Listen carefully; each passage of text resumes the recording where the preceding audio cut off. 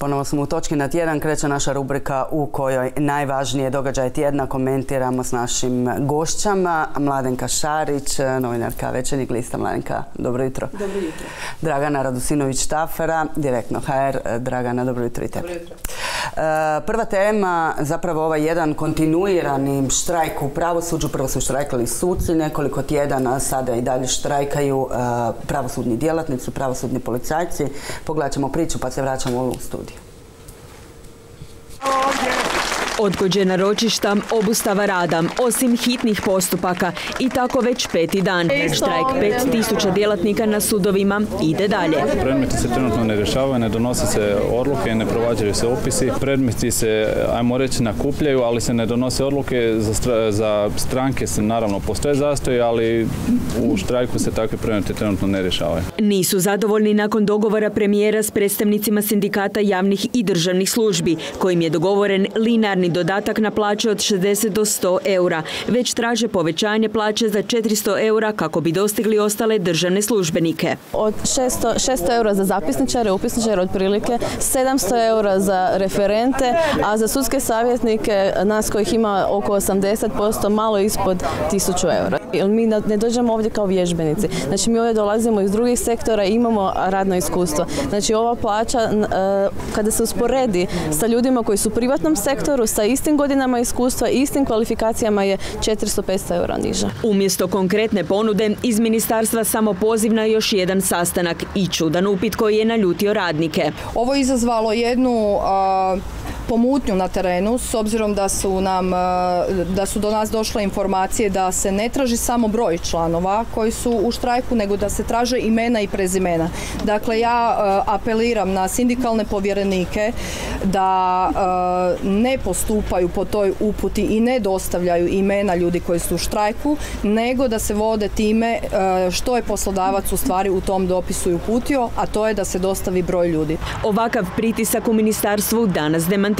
Ministarstvo pravosuđa i uprave ni na koji način ne vrši pritisak na službenike i namještenike u pravosudnim tijelima, niti na organizatore štrajka. Ministarstvo je od čelnika pravosudnih tijela zatražilo podatak o broju službenika koji za vrijeme štrajka ne obavljaju redovne aktivnosti. Ministarstvo nije od čelnika tijela tražilo popis ili imena službenika koji sudjeluju u štrajku. Građani svjesni da je pravosuđe često pod raznim pritiscima, što ekonomskim, što političkim, oko štrajka su podijeljeni. Mislim da bi trebali više raditi da bi zaradili te novce koje dobivaju. Znate? Možda bi sve bilo učinkovitije kada bi imali bolje uvjete za rad. Pa i to. I to između ostalog. Podržavam. Zašto? Zato da valjda bude bolje onda. Ako. I za bolje plaće? Plaće, pa nek dobiju plaće, da. Ali budu imali veće plaće, budu bolje radili i brže i i zadovoljnije, normalno.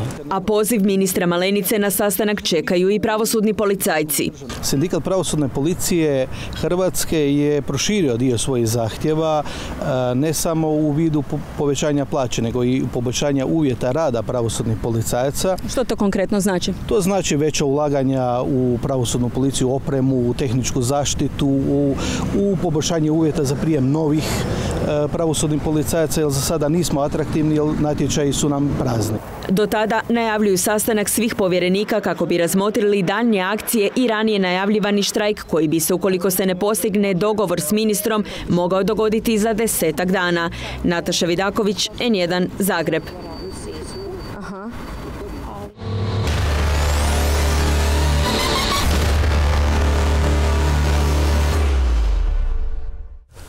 Vidjeli smo dakle prilog kolegice Nataše Vidaković. Mladenka, vidjeli smo ovdje ljudi su podijeljeni. Dio kaže ne podržava, rade presporo. Inače, dio kaže radili bi bolje kad bi se digle plaće. Činjenica je zapravo nedavno je prije nekoliko dana izašao, izašao Europski barometar o tome koliko ljudi imaju povjerenja u pravosuđe. U Hrvatskoj smo već tradicionalno na samom dnu te liste više od 70% ljudi smatra da na, na ovaj ili onaj način u manjem ili većem stupnju pravosuđe nije dobro, nije neovisno. Misliš li da ljudi razumiju oko čega štrajkaju? Zapisničari, da, referenti? Kad je, kad je riječ o plaćama, ljudi to razumiju. Svak se može identificirati s time e, kako je živjeti sa nekoliko stotina eura, e, a kako je živjeti s nekoliko tisuća eura i mislim da ljudi nemaju nikakav, kad ga kažem ljudi, mislimo dakle na javnost, na građane, da ljudi nemaju nikakav problem s time da se plaće koje su uistinu niske e, podignu. S druge strane imamo problem cijelog, cijelog sustava. Dakle, u ovom trenutku zapravo možemo reći da u Hrvatskoj nema pravne sigurnosti zbog toga što nam pravosudni sustav ne funkcionira. Ljudi s jedne strane imaju pravo boriti se za svoja prava i to apsolutno nije nimalo, nimalo sporno. Međutim, s druge strane, građani koji imaju neke postupke, neke predmete i e, kojima se žuri da dođu do nekog pravorijeka, u ovom trenutku su na čekanju i naravno da oni možda nisu spremni pokazati razumijevanje za to.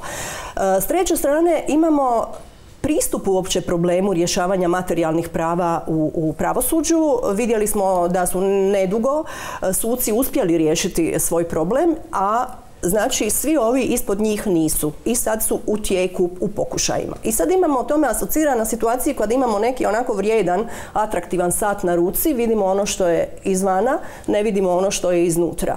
Iako eh, je ovo izvana lijepo, ako imamo, ne znam, neko staklo koje je super skupo, otporno na udarce, zlatni okvir, reći ćemo, gle, taj sat je stvarno divan i, eh, i vrijedan eh, i njegova cijena je visoka. Međutim, unutra se nalazi gomila kotača kotačića sitnih. I dovoljno je da jedan kotačić stane i sad postaje bezvrijedan. U ovom trenutku, dakle, jedan mali kotačić je stao, kotačić koji nije bio u prvom planu, koji je bio potpuno zanemaren u ranijim razgovorima o plaćama u pravosudnom sustavu i taj kotačić je sada rekao dosta. I ima pravo to napraviti. E, ja se samo nadam da će u nekom razumnom roku biti taj problem riješen zbog toga što nije normalno da svi predmeti stoje i čekaju. Evo dolazeći ovamo, samo da još to kažem, prošla sam pored e, Zagrebačke gruntovnice, dakle zemljišnog odjela. Na njemu na vratima piše štrajk, što znači da u ovom trenutku nitko tko, ne znam, kupuje stan, prodaje stan, želi uknjižiti neku nekretninu, želi riješiti neki problem koji mu se provlači kroz desetljeća, ne može, ne može to riješiti i možda ne može riješiti neku svoju životnu situaciju. Da, e, inače prekjučer je Radovan Dobronić, šef Vrhovnog suda, izdao uputu u kojem kaže što se nužno mora e, činiti. Neke od tih stvari je zaprimati e, podneske, ali ne znači da će se po njima postupati i rješavati. Mnogi će reći nije to bitno različito od ono kako stvari e, inače e, funkcioniraju. Spominjem Dobranića i zato što je e, još prije nekoliko mjeseci baš u točki na tjedan upozorio da je zapravo pravosudni sustav, kako je tada rekao jaku riječ u Rasulu, ono pred kolapsom, mhm. upravo zbog tih kotačića mladenka koje, koje spominješ. Dragan, idemo malo prokomentirati taj modus operandi vlade premijera da stvari rješavaju ovim e, e, dogovorima kad se Plenković e, pojavi kao ono bog iz mašine ili kao spasitelj stvari, onda onda neka skupina unutar tih javnih i državnih službenika svoj, riješi svoj problem. E, pa, evo, ja bih prvo htjela reći da e, podsjetiti na e, dvije godine žestoke inflacije u Hrvatskoj, koje, unutar koje je, su, je cijena hrane sada raste 10% u odnosu na prošlu godinu, a rasla je tijekom prošle godine u odnosu na pretprošlu godinu i do 20%. E, govorimo ovdje o ljudima koji štrajkaju trenutačno, to su sve ljudi koji imaju plaću oko medijalne ili manju od toga. Dakle, a na ove, recimo da kažemo da prava i pravičnost dakle, počiva na vrlo potplaćenim ljudima koje znamo da inflacija više nagriza životni standard najslabije plaćenih ljudi. Dječji izlet košta, jednodnevni dječji izlet košta 50 eura. Dakle, samohrani roditelj u ovaj koji radi na ovaj sudu, pisarnici. u pisarnici na sudu, ima dvoje djece, mora odvojiti više od e, desetine svoje plaće za jedan jednodnevni školski izlet. Da ne govorimo ako ovaj, imaju slučajno maturante ili ako imaju bilo kakve takve troškove. Dakle, potrebno je da svi mi sa razine ljudskosti u trenutku u kojem zaista živimo pod žestokom inflacijom, u kojoj se vlada nije obračunala sa uticajem trgovačkih marži na tu inflaciju, jer kao što vidimo, konzum ima e, rast dobiti preko 200%, a da ne govorimo i o svim drugim trgovačkim lancima. Dakle, moramo razumjeti sa ljudske razine štrajk i očaj tih ljudi trenutačno. Dakle, to je to bi vlada trebala svakako uzeti u obzir. Pogotovo, oprosti, što upadam, što se šalje poruka zapravo da novaca ima. Ima za liječnike, Novaca ima, za ove, e, ima za mjere pomoći u krizi. Proračun nije u suficitu, ali nije ni u velikom deficitu. Dakle, e, gradski proračuni su u suficitu. Znači, dojam je novaca ima, novac nije problem. Novac nije problem do tog stupnja da se mogu ovaj, ukidati neki porezi. Međutim, što radi vlada? Vlada trenira ovaj, strogoću na određene populaciji na kojoj to može. Recimo na sucima ne može trenirati strogoću, ali na ljudima u pravosuđu koji su potplaćeni posljednjih 30 godina. Dakle, ovo nije ništa novo. Oni e, kontinuirano govore o potplaćenosti. Samo ih je sad još više pogodilo kao najslabije plaćenu populaciju. Trgovkinja u DM-u ima veću plaću od ovaj, osobe na kojoj počeva sudski proces. Dakle, e, e sad treniranje strogoće u smislu, a negdje moramo govoriti o efikasnosti. Pa na nečem, kako mogu, dakle, taj e, argument efikasnosti.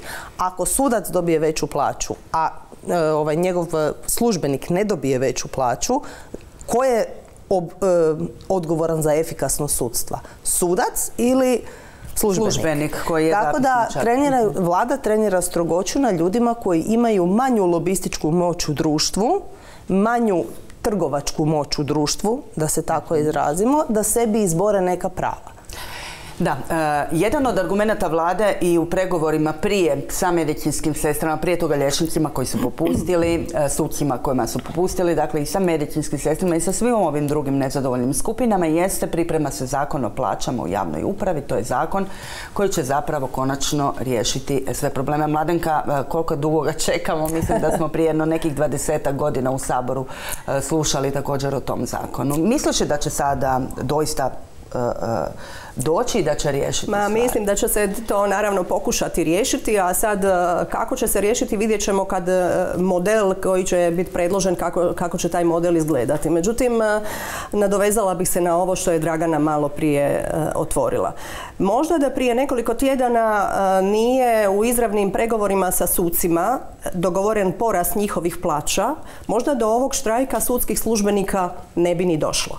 Međutim, kad ljudi u sustavu vide da oni koji su na vrhu tog sustava u prvom planu mogu izgurati sve uz malo prisile, uz malo inačenja, da je premijer spreman otvoriti im vrata u jednom trenutku, razgovarati o problemu i pronaći rješenje, onda vjerojatno misle da se izrazim tako, pa dobro, koje smo mi budale ili koji smo mi magarci, radimo u toj istoj sudnici, a mi, a o nama niko ne vodi računa. Dakle, moramo, moramo dignuti glas. Ali sad se vidi i to, dakle, da sustav počiva na svima koji su u tom sustavu. Mi naravno možemo razgovarati, i to je bila tema koja je otvorena u kontekstu ovog problema, e, jesu li ljudi koji rade u pisarnicama, e, zapisničari, jesu li svi oni u digitalno doba potrebni, može li, mogu li neke od njih zamijeniti neke aplikacije, mislim, meni to zvuči, zvuči grozno, ali e, to su realne stvari, jel?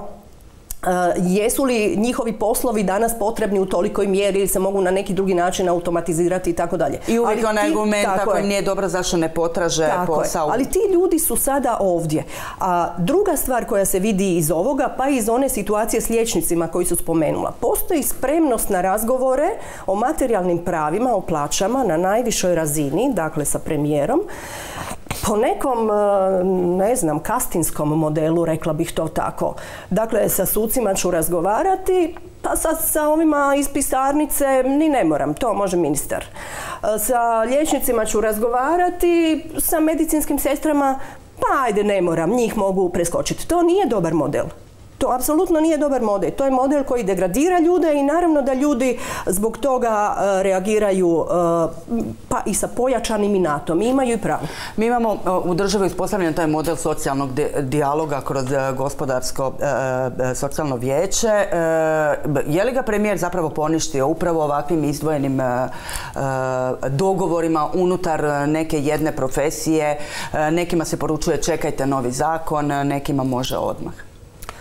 E, Pa e, kao što si ranije spomenula, Bog iz mašine e, koji dolazi i rješava problem, kad bi postojao redovni socijalni dijalog unutar kojeg se e, problemi društva rješavaju prije nego što zakipi, dakle prije nego što postanu zaista jako vidljivi, onda on ne bi mogao odigrati tu svoju ulogu. Dakle, nefunkcionalnost E, tijela koja su zadužena za rješavanje problema je nešto što Andreju Plenkoviću treba da bi on mogao odigrati tu svoju ulogu. Tako da, poništio ga je da bi mogao ostvariti svoje ciljeve.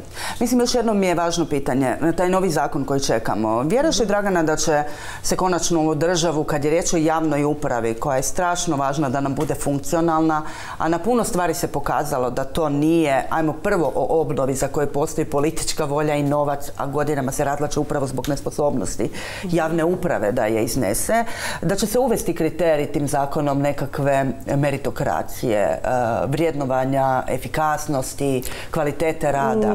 Neće, a i da se uvedu pokazalo bi se koliko je naše društvo e, e, osiromašeno tako bi to rekla, jer sve više i više kriterija na svim razinama se prilagođava sposobnosti i kapacitetu da ovaj, e, uopće ljudi to iznesu. E, za 15 godina ćemo imati još više problema nego danas. Evo, pogledajmo samo nacionalne ispite koji su odrađeni u osnovnim školama i kako su ih djeca položila. Nisu djeca danas ništa gluplja, nesposobnija, nezainteresiranija ili e, manje u pubertetu nego što su bila prije 30 godina. Dakle, nego su profesori neadekvatni da ih obrazuju. Dakle, u toj ovaj struci više nitko ne želi raditi. Dakle, ne možete više dobiti nikoga iz područja matematike, fizike, informatike. Nema ko obrazovati tu djecu, nema ih ko zainteresirati. I onda kako ćemo? Dakle, svi ti ljudi dolaze poslije, sva ta djeca će dolaziti poslije i u pisarnice između ostalog. Što očekujemo od njih da oni znaju kad ih nije imao tko naučiti? I onda će ti kriteriji koji bi se sad trebali postaviti morati biti toliko nisko da ne bi pokazali do čega smo naše društvo doveli. Jasno, meritokraciju bi trebalo uspoređivati meritokracija u Hrvatskoj, što znači meritokracija u nekoj zemlji, ne znam, tipa Danske, Švedske, Njemačke. Da. Pa bismo vidjeli. Hvala vam za sada. Mi ćemo kratku stanku pa se vraćamo ponovno u točku na tjedan.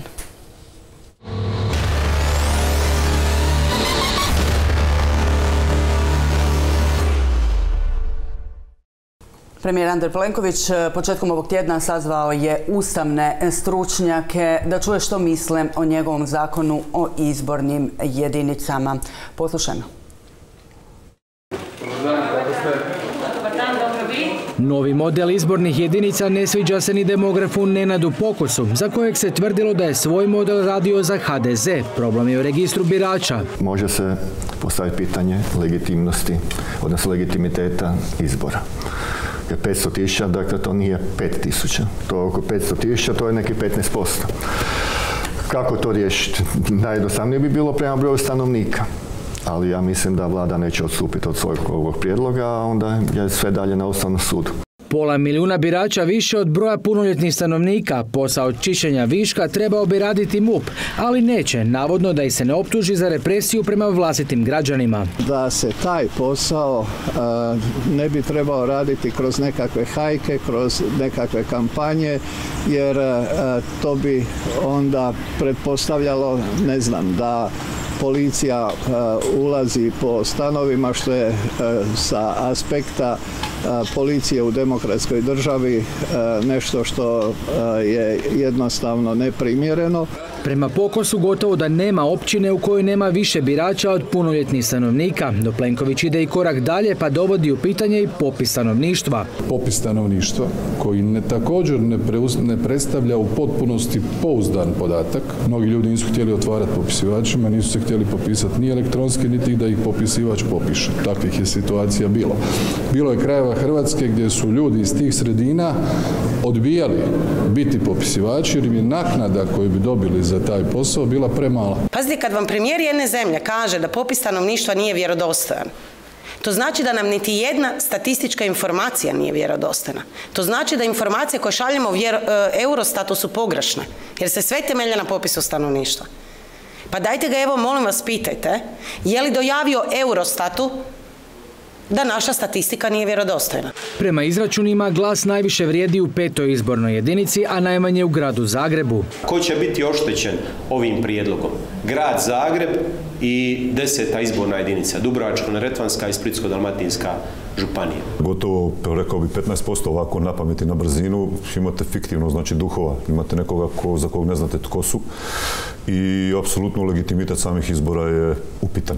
Zapravo to nije po meni normalna situacija. Zašto ne radimo to na temelju popisa stanovništva koje je puno svježiji podatak, puno realniji podatak? Dio oporbe ne odustaje od obraćanja Ustavnom sudu, ali i sami su svjesni da od toga neće biti puno koristi. Moglo je biti bolje, ali nije. Nije zato što HDZ nije htio, ali na nama je da ih pobjedimo i po ovom zakonu. Malo sutra pa ni onda. Ovih dana uzraća premijer oporbi dodajući da bi HDZ vladao još 100 godina da su išli s drastičnijim promjenama izbornih zakona. Elvir Mešanović, N1 Zagreb.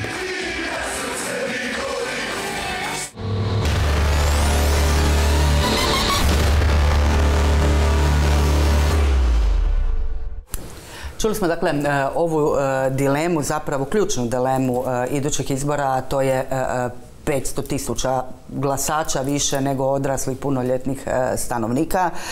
Ja bih da još prije nego što krenemo raspravu poslušamo izjavu Biljane Kostadinov koja je predstojnica katedre za ustavno pravo. Bila je na sastanku s premijerom. Čućemo što je ona rekla nakon tog sastanka. Rekli smo da ti uvjeti nažalost nisu ispunjeni i da e, je prijedlog nacrta novog zakona o izbornim jedinicama za sve, sve ustavne profesore u Hrvatskoj neprihvatljiv. Zašto? Imali smo jučer još jedan sastanak, sve katedre ustavnog prava i Zagrebačka katedra, svi koji jesu na njoj i to je naš zaključak da bez demokratske procedure radnih skupina, rasprave, otvorene rasprave u demokratskom društvu Hrvatska mora, ne može ići naprijed. Oni imaju takovu političku odluku da sada ne žele stavljati radne skupine, ne žele raspravljati o drugim prijedlozima. Ono što nas muči je da taj prijedlog nije niti obrazložen. Ne samo da nema demokratske procedure, ne samo da nema radnih skupina, nego su stavili na javnu raspravu prijedlog koji nije obrazložen. A kolege na Zagrebačkoj pravnoj katedri pogotovo muči to što je u registru birača 500 tisuća birača više nego na popisu stanovnika. Na vama i na svima nama da zaključite. Oni ne žele uvažiti niti jedan stav svih profesora ustavnog prava i profesorica u Hrvatskoj. Svih. Eto.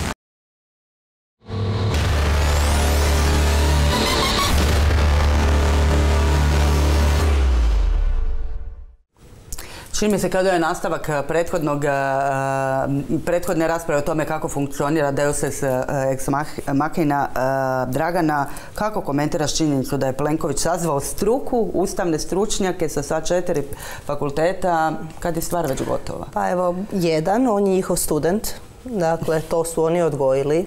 Pravni fakultet ga je ovaj, obrazovao, on je ponosni alumni Zagrebačkog sveučilišta tako da nek mu se obrate direktno. E, dva, zamislite sad u demokratskom društvu da raspravljamo o izbornim jedinicama. Pa čovjek bi morao, ne znam, 10 kila bi dobio od muke ovaj, dok sluša raspravu o izbornim jedinicama i ko će kome, ko će šta i ko će kako, da bi na kraju došao do istog ovog rezultata. Dakle, pojednostavljuje. I ovaj, e, treće, drugo nismo od Andreja Plenkovića niti mogli očekivati. Mhm. Kaže Andrej Plenković, Mladenka, nije bilo vremena za ozbiljniju raspravu. Ustavni sud je odlučio prije dobrih desetak mjeseci o e, tome da izborni zakon e, treba mijenjati. Eh, je li to doista premalo vremena da se provede ozbiljna rasprava? Pa naravno da nije, pogotovo što se ne radi o promjeni cijelog modela, nego se radi o promjeni zakona o izbornim jedinicama, dakle teritorijalno raspodijeli glasa. Međutim, htjela bih podsjetiti da je Ustavni sud još 2013. godine, znači prije punih deset godina upozorio na to da u Hrvatskoj postoji nejednakost u težini biračkog glasa i da je to potrebno ispraviti e, zakonskim izmjenama. Od tada do sada nijedna vlada se toga nije prihvatila, uključujući i SDP-ovu vladu. E, ja bih rekla da je to jedna tema koja kao da stalno je prisutna, ali niko se njome ne želi, ne želi baviti Iskreno govoreći zapravo ne razumijem zašto se SDP-ova vlada nije time prihvatila, nije toga prihvatila budući da su, je dosadašnji izborni model, važeći izborni model, uključujući izborne jedinice, uvijek davao prevagu HDZ-u. Dakle, zapravo SDP-u i opozicijskim strankama kad su bile na vlasti bi bio nekakav čak i interes da pokušaju napraviti jedan zakon koji bi bio poštenije e, e, rasporedio sve to skupa, pogotovo u svjetlu preporuke Ustavnog suda da se izjednači težina biračkog glasa. Ono što sada imamo, imamo zato što se čekalo, mislim da dođe 5 do 12. Evo, zato to imamo, imamo to zbog toga što vjerojatno unutar HDZ-a nisu bili e, sigurni na koji način mogu iscrtati izborne jedinice, a da e, efekt za njih ostane onakav kakav je bio do sada. Dakle, da ne izgube na samoj promjeni e, teritorijalnih, teritorijalnoj promjeni izbornih jedinica. Mi smo imali evo tu u Zagrebu svaki put u izbornim ciklusima imali smo rasprave kako je Zagreb rastrgan, kako je nenormalno raspoređen u izborne jedinice, pa ono čovjek na Jarunu glasa zajedno sa čovjekom u Novom Vinodolskom, pa kao sada toga neće biti, a da, ali će zato čovjek iz Siska glasati zajedno sa čovjekom, sa biračem koji živi na otoku Viru. Dakle, iz Novske sa Novaljom. Dakle, očito je to, to tema, e, to zakon koji se radi za predstojeće izbore. To nije zakon koji se radi za budućnost. E, I mislim, bilo bi jako dobro, ako već to sad bude tako i ne bude se promijenilo do donošenja zakona Uh, ali onda se iskreno nadam da tko god dobije na sljedećim parlamentarnim izborima do godine da će ta vlada shvatiti temu ukupnog izbornog modela kao važnu temu za hrvatsku budućnost i za stabilnost demokracije i za poštenje. Jer činjenica da u registru ima 500 tisuća uh, birača više nego što imamo stanovnika uistinu dovodi u pitanje, u pitanje legitimitet, legitimitet Kratko ću samo prokomentirati, mislim da imam odgovor na tvoje pitanje zašto nije SDP. Uh, Jutarnji list je nedavno napravio analizu, mhm. provukli su prošlogodišnje, odnosno e, rezultate sa prošlih izbora kroz nove izborne jedinice. Jedan dobiva dodatno HDZ, jedan dobiva dodatno SDP, dva gubi domovinski pokret. Zapravo ovaj model e, pogoduje najvećim strankama e, u odnosu na one, na one manje stranke, tako da SDP nije nešto puno bio motiviran ni prije Ta analiza je jako zanimljiva zato što pokazuje koga se zapravo Andrej Plenković boji na izborima. A ako se ni na koji način ne boji lijevo-liberalne opcije, to onda znači da je čvrsto zauzeo poziciju u centru i da mu e, ove izborne jedinice, način na koji ih je on malo pomaknuo, dakle on je zapravo malo pomaknuo granice dosadašnjih izbornih jedinica. I mogao bi slobodno reći, ali ja nisam ništa tako drastično promijenio da bi uopće trebao staviti javnu mhm. raspravu na dnevni red, jer je sve ostalo isto. E onda ako kažemo da je to upravo i problem što je sve ostalo isto, onda ćemo reći da, ali ja se nisam mogao baviti tim problemom do sada i idemo reći ljudima da smo ušli u eurozonu, da smo postali članica Schengena, da je tu bilo jako puno ovaj, e, ovih e, vanjsko-političkih, odnosno europskih stvari kojima se bavio, pa se eto nije stigao baviti time. Ja ne mogu Međutim, si pomoć, oprosti. Naravno da si ne, ne mogu si ni ja pomoći, da kažemo da je na kraju su izborne jedinice za parlamentarne izbore ostale takve da je politika nacionalna koja proizlazi iz takvih izbora definitivno odijeljena od ljudi. Dakle, te izborne jedinice su kao neka tampon zona dakle između politike koja se u parlamentu vodi i ljudi koji glasaju za svoje predstavnike u toj politici. Da, ne mogu si pomoći, nikad nisam bila baš nešto dobra s matematikom, ali ovo su sitne brojke, sitne, a politički jako teške. Znači, e, profesor Čular na prošlim e, izborima, nakon prošlih izbora, napravio analizu da zbog ovog nesrazmjera u broju glasova, HDZ je dobio čak tri mandata više nego što bi dobio da je nešto, kako bi rekla, ono od prosječnog mhm. glasa, ono plus minus 5%. Sad na tih tri nadzastupljenosti dobivate još jedan nadzastupljenosti. A, domovinski pokret gubi dva. Zamislite samo da na prošlim izborima je HDZ imao tri manje, a domovinski pokret više kao što je trebao imati. Pa mislim nama bi neko drugi bio premijer, ne Andrej Plenković, s obzirom na tadašnje političke okolnosti. Dakle, to, to je sitne brojke, jedan, dva mandata tamo vamo nisu uopće sitne i nisu beznačajne. Može li se prihvatiti ovoga tvrdnja da su ovo sitne izmjene, ali da to nije gerrymandering? A ne može. Mislim, e, kao nešto mijenjamo, ali sve je ostalo isto. Dakle je. Onako kako nama paše, da. Dakle je. Mislim, e, e, izborni model je važan za razvoj Hrvatske, važan je za stabilnost hrvatske demokracije, važan je za osjećaj fair playa u, zemlji i mislim da e, bi zapravo... Važan je za prvi članak Ustava da vlast proizlazi iz naroda. Pa, apsolutno, da, apsolutno. I mislim, bilo bi zapravo najlogičnije kad bi se izborni model mijenjao da se ide na varijantu da izborne jedinice slijede nekakve naše tradicionalne regije, Slavonija, Dalmacija, Središnja Hrvatska, gore, ne znam, Varaždinska županija, Međimurje i tako dalje, je da, da se na taj način zaokruže, a da se onda broj zastupnika u svakoj izbornoj jedinici bira ovisno o broju birača u toj izbornoj jedinici, što znači da ne mora u svakoj izbornoj jedinici biti biran isti broj birača i time se dobiva ravnoteža e, u snazi svakog biračkog glasa. A to je ono što, nažalost, e, politika, barem evo u ovom trenutku, HDZ je na čelu, e, ne želi, ne želi napraviti. Recimo, šta bi mogli možda malo promijeniti? Da recimo u jednom e, novinarskom izvještavanju kažemo da to nisu zastupnici HDZ-a u parlamentu, nego da su zastupnici prve, druge, treće, četvrte, pete, pa sve do desete izborne jedinice. I onda da kažemo da su zastupnici koji su ovaj, imaju stranačku pripadnost HDZ-u, SDP-u, Domovinskom pokretu i svime time, zapravo ih preraspodijelimo po tome u kojoj izbornoj jedinici su izabrani. I de facto svaka izborna jedinica ima 14 svojih zastupnika, jel tako, koji dolaze iz različitih stranaka. Ali su svih njih 14 su kao mala grupa zaduženi za interese, ciljeve i mišljenja i stavove ovaj, potrebe ljudi na tom teritorijalnom prostoru izborne jedinice. I na neki način bi im trebali odgovarati, ali naravno da im ne odgovaraju. I onda imamo zastupnike HDZ-a, SDP-a i DS-a. Ne, mi imamo zastupnike koji predstavljaju ljude koji su ih birali na teritorijalnim prostoru izborne jedinice. Međutim, to nitko na taj način ne povezuje. Pa onda ako to politika ne želi tako povezivati, možda možemo... Sustav je tako ovaj, posložen da je to nemoguće tako povezati. Zašto? Zato što zapravo o tome ko će biti zastupnik iz te jedinice puno veći utjecaj ili jako veliki, prevelik utjecaj ima šef stranke ili stranačko ono vijeće mudraca, e, čak puno više nego e, ljudi na terenu jer ih sve manje izlazi na izbore. Ali nikada nitko neće pitati zastupnika izabranog u pojedinoj jedinici godinu dana nakon što je izabran što je napravio za ljude u toj izbornoj jedinici.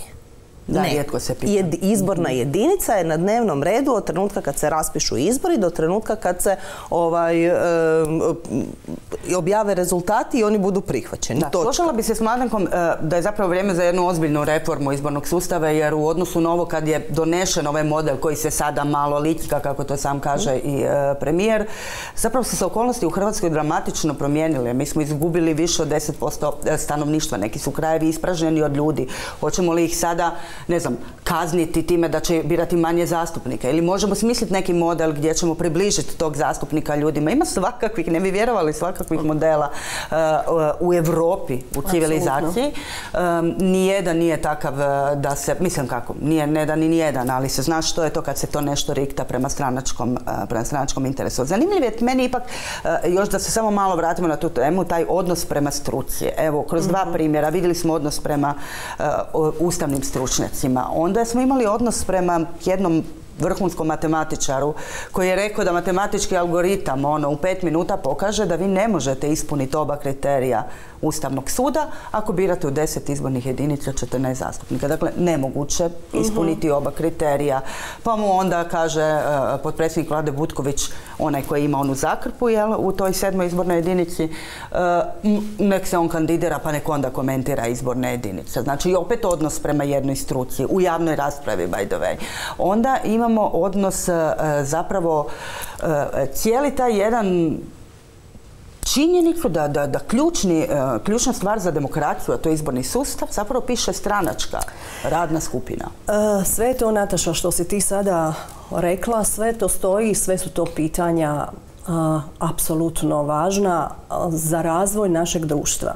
Ne radi se ovdje samo o poruci koju je premijer, o njemu sad razgovaramo, poslao ustavnim stručnjacima, profesorima ustavnog prava, stručnoj javnosti ili u onim prethodnim temama, sucima i zaposlenicima pisarnica ili službenicima ili liječnicima, medicinskim sestrama i tako dalje. Radi se zapravo o tome kakve poruke osobe koje se nalaze na najvišim pozicijama u našoj državi šalju građanima. Sad smo spomenuli neke premijerove. Evo sad mi pada na pamet poruka predsjednika Republike, nema veze sa izborima, ali je važna poruka građanima i društvu. Znači imali smo rušenje bespravne gradnje uvali vruja u, u, u Dalmaciji. Kako predsjednik to komentira? On komentira gospodina koji je to izgradio i zaključuje da se tamo događa jedna kazališna cirkuska predstava, da jadi bijeda tamo protestira, da taj čovjek nikada nikome nije ostao dužan i ništa nije ukrao. To je poruka građanima, ali predsjednik nakon zaboravlja da je nakon prevelikog broja godina odlučila da to je bespravna zaboravlja da taj čovjek jest ukrao ukrao je nešto što nije njegovo. On je otišao tamo i izgradio je na prostoru koji nije njegov, na prostoru kojemu je zakonom zabranjeno graditi. E, neću sad dalje o toj, o toj mhm. temi, vratit ću se samo na te poruke. Znači, ljudi koji obnašaju najviše dužnosti u državi, premijer, predsjednik, ministri, svi koji izlaze u javnost sa svojim porukama moraju voditi računa što svojim riječima zapravo žele reći moraju, moraju voditi računa o tom kontekstu. Kako će to građani shvatiti? Dakle, ne možemo se mi ponašati ako živimo u demokratskoj državi da će se sve riješiti ako se ja uključim. A, zato što sam na toj poziciji. Ako se ja ne uključim, pa onda će biti kako bude. Kako dakle, mora postojati sustav. Mogu što hoću. E, mogu što hoću. To je ta ono, sublimacija cijelog jednog političkog modela u toj jednoj rečenici, ali nije samo e, njegov model. Nije, nije samo bih još jednu rečenicu. Mislim da se zapravo, da mi se nalazimo, oprosti Dragana, da se mhm. nalazimo upravo u, u zamahu jedne jake personalizirane predizborne kampanje. Mhm. Da. I e, što to mogu što hoću govori o, političkom sustavu Hrvatske? pa govori o tome da je destruktivan na buduće generacije, jer baš lijepo ovako kako je Mladenka to ispričala, svi oni mogu što god hoće, ali žestoko ćemo sankcionirati, kažnjavati i ne znam šta ćemo im raditi, djecu od osnovne škole pa do kraja ovaj, srednjoškolskog obrazovanja. Tamo ćemo primjenjivati neviđene mjere e, odgoja, e, ovaj, kazni, bjesova, ne znam nija čega mhm. svega ne. Evo, dakle, vizavi školskih izleta, samo da kažem gdje to sve počinje, djecu se tretira kao kriminalce.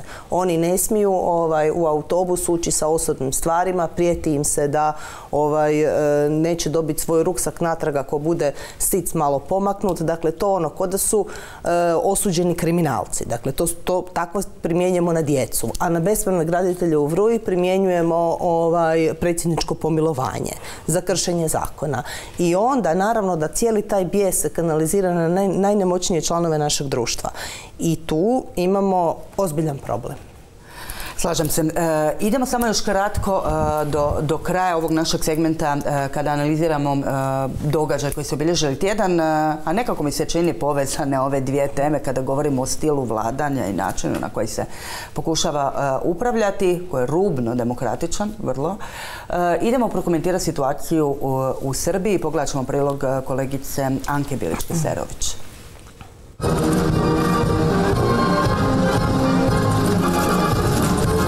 Dan nakon još jedne bizarne konferencije za novinare, Aleksandar Vučić vratio se drugim državničkim poslovima i obvezama. Na još sinoć nova epizoda drame i najave velikih vijesti. Predsjednik i premijerka ruku pod ruku. Spremna sam i računajte da moju ostavku imate na stolu. Računajte na tu ostavku. Želim da kažem da su izbori jedini način kako se na vlast dolazi u demokratskim društvima kakva je Republika Srbija.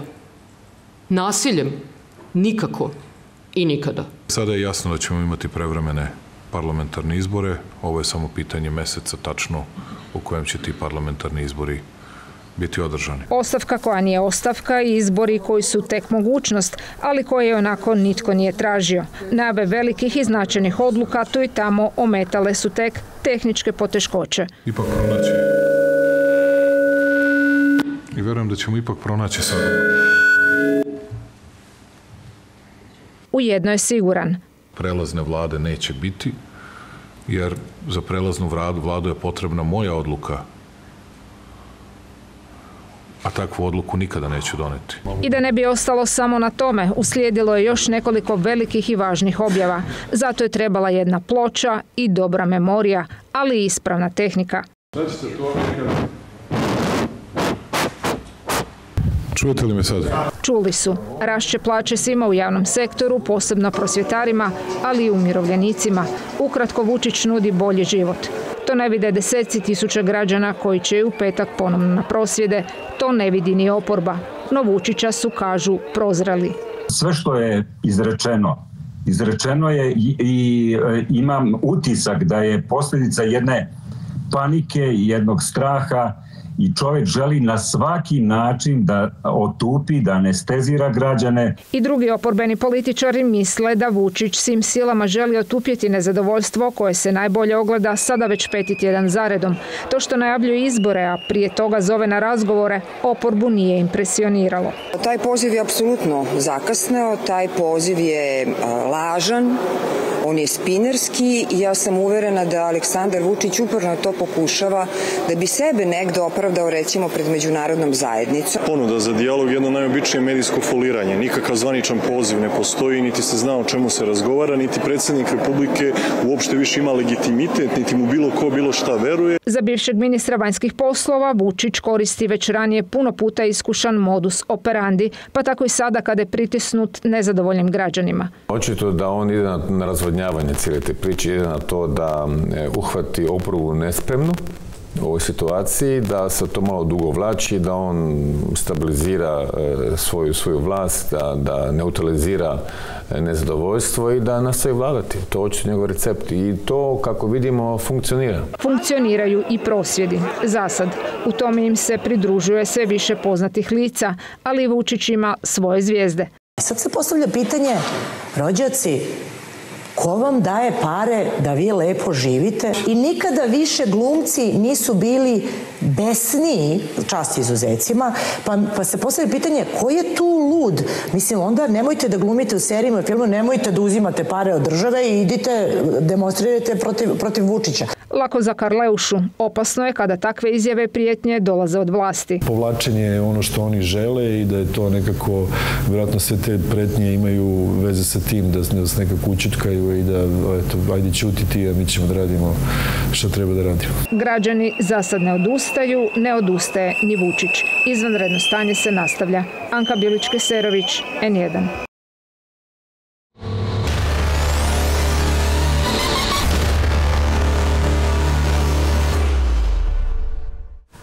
Ponovno izvaredni e, izbori na, na vidiku u Srbiji. Mladenka, e, je li zazivanje tih novih izbora, odnosno odluka da se ide na njih, e, znak Vučićeve snage ili slabosti?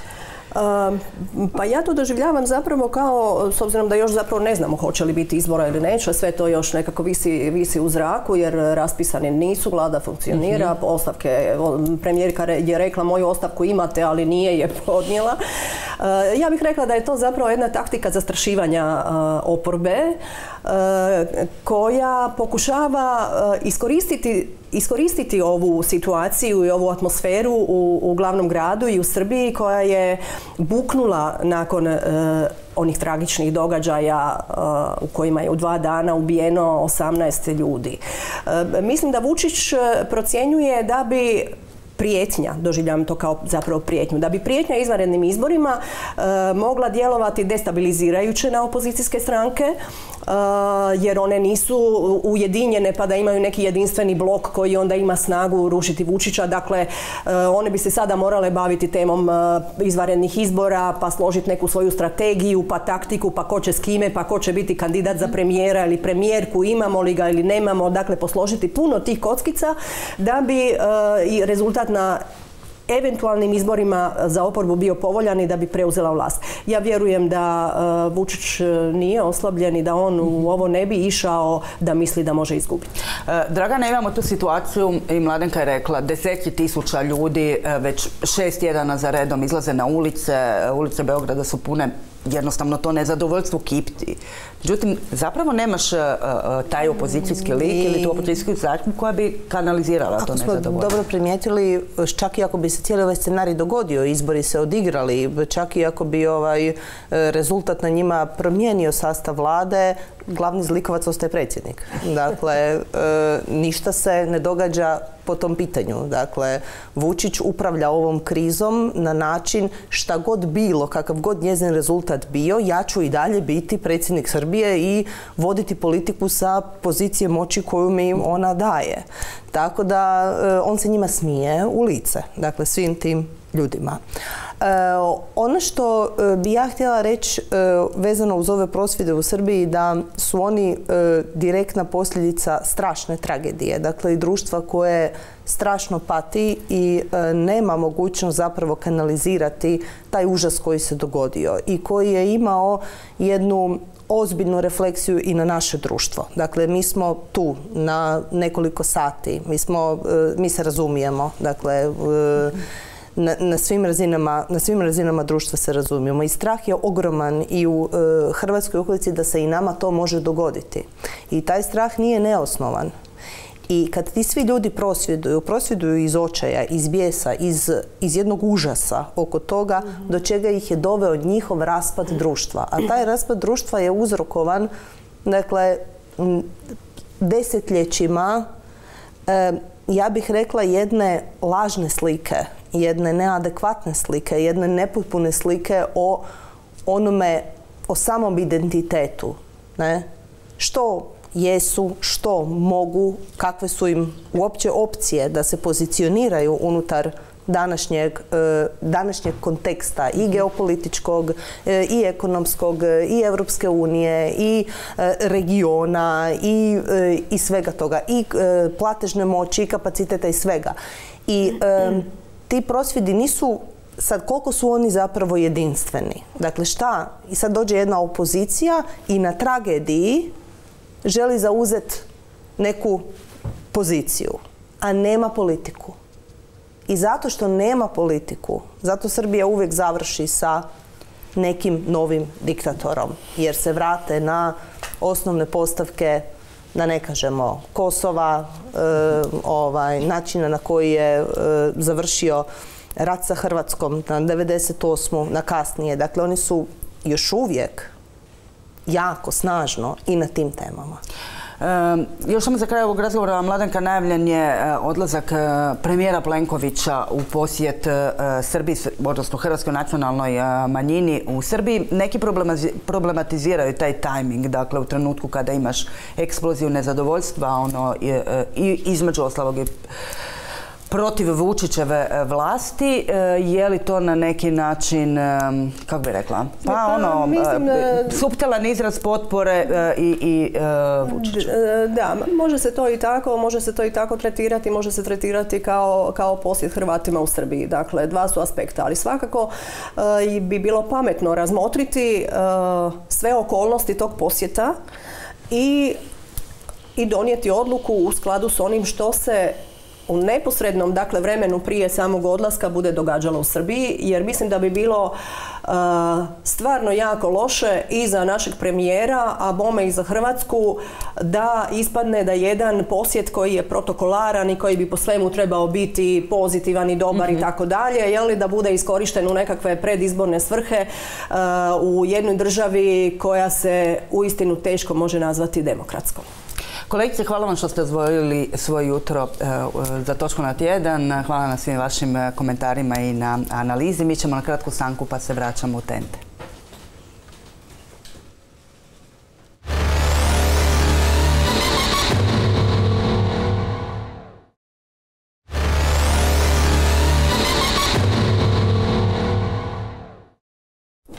Vlada je ovoga tjedna usvojila strategiju Digitalna Hrvatska i osnovala vijeće za digitalizaciju. Tim povodom premijer Andrej Plenković govorio je e, o, kako on to kaže, tri piste kojima će Hrvatsku lansirati u bolju budućnost. Klimatske promjene se događaju, ja sam o tome više puta govorio, evo mi smo jučer imali, dakle, dosta je važno, ajde iskoristit ću, sad ste me potaknuli da kažem tri temeljna pravca djelovanja za budućnost. Mi smo jučer imali vijeće za digitalnu transformaciju ne samo članovi vlade, ne samo ključni ljudi iz institucija koji se time bave, nego predstavnici sektora, svi oni koji svojim znanjem, privatnim poduzetničkim duhom nastoje učiniti ono što je naš cilj, a to je da Hrvatska čvrsto usidrena u procesu četvrte industrijske revolucije, da razumije da onaj ko ne uhvati korak sa digitalnom transformacijom ne može biti globalno konkurentan, neće biti dovoljno dobar da prati sve trendove koji se događaju od interneta stvari do umjetne i svih ostalih procesa koji su itekako za nas važni. Mi smo u našem e, mandatu itekako povećali broj zaposlenih u ICT sektoru, sad su negdje oko 63 tisuće. Jučer već na prvom sastanku kada smo analizirali usvojenu strategiju digitalnog razvoja Hrvatske do 2032. osim ulaganja u odgovarajuću infrastrukturu, osim ulaganja u obrazovanje, glavna ambicija koja se tamo mogla čuti od ljudi koji su doslovno sa svojim startupima, sa svojim idejama postali globalno relevantne kompanije ili barem njihovi predstavnici koji su bili, sugeriraju da povećamo broj zaposlenih u tom sektoru za 100%. To znači doći na iznad recimo 125, 130 tisuća. To je onda sjajan signal da Hrvatska lovi korak. Druga, drugo vijeće, dakle to je jedna pista, jedna je pista digitalna transformacija. Druga pista će biti demografska revitalizacija, u ovom trenutku dovršava se na internoj razini sve što se tiče demografske strategije koja je objektivno jedini stvarni veliki strukturni problem hrvatskog društva, to je da imamo negativni prirodni priraštaj, da smo mi 50-ih imali godišnje rođenih beba nešto više od 90 tisuća, da ih sada imamo oko 34 tisuće i to je svakome jasno ako je takav trend da ozbiljan problem e, u budućnosti i taj trend najprije treba stabilizirati, onda postupno nastojati učiniti iskorake da ga okrećemo. Ali za to je potrebno ne samo da mi povećavamo roditeljske rodine naknade, dajemo oslobođenje poreza na dohodak mladima do 25, mladima od 25 do 30 da plaćaju 50%, niz drugih beneficija, stambena politika, obiteljska politika, sve ono što ulažemo moramo mijenjati opću atmosferu u društvu kad je riječ o demografskoj revitalizaciji i staviti obitelj kao ključ i ključnu jezgru svakoga društva u maksimalni fokus. To je politika koju, ćemo, koju, mi vodimo i za koju se zalažemo. Treći proces je održivi razvoj koji u tom svom kontekstu ima i klimatske promjene, ima i energetsku sigurnost, ima postupnu zamjenu fosilnih goriva sa obnovljivim izvorima energije i s te strane sve što vidimo sa vremenskim nepogodama, sa sušama, sa požarima, sa poplavama je globalni trend. Zašto se svake godine države stranaka sastaju na globalnoj razini kako bi razmatrale dinamiku klimatskih promjena? Jer ovo što imamo i kod nas događa se i drugdje.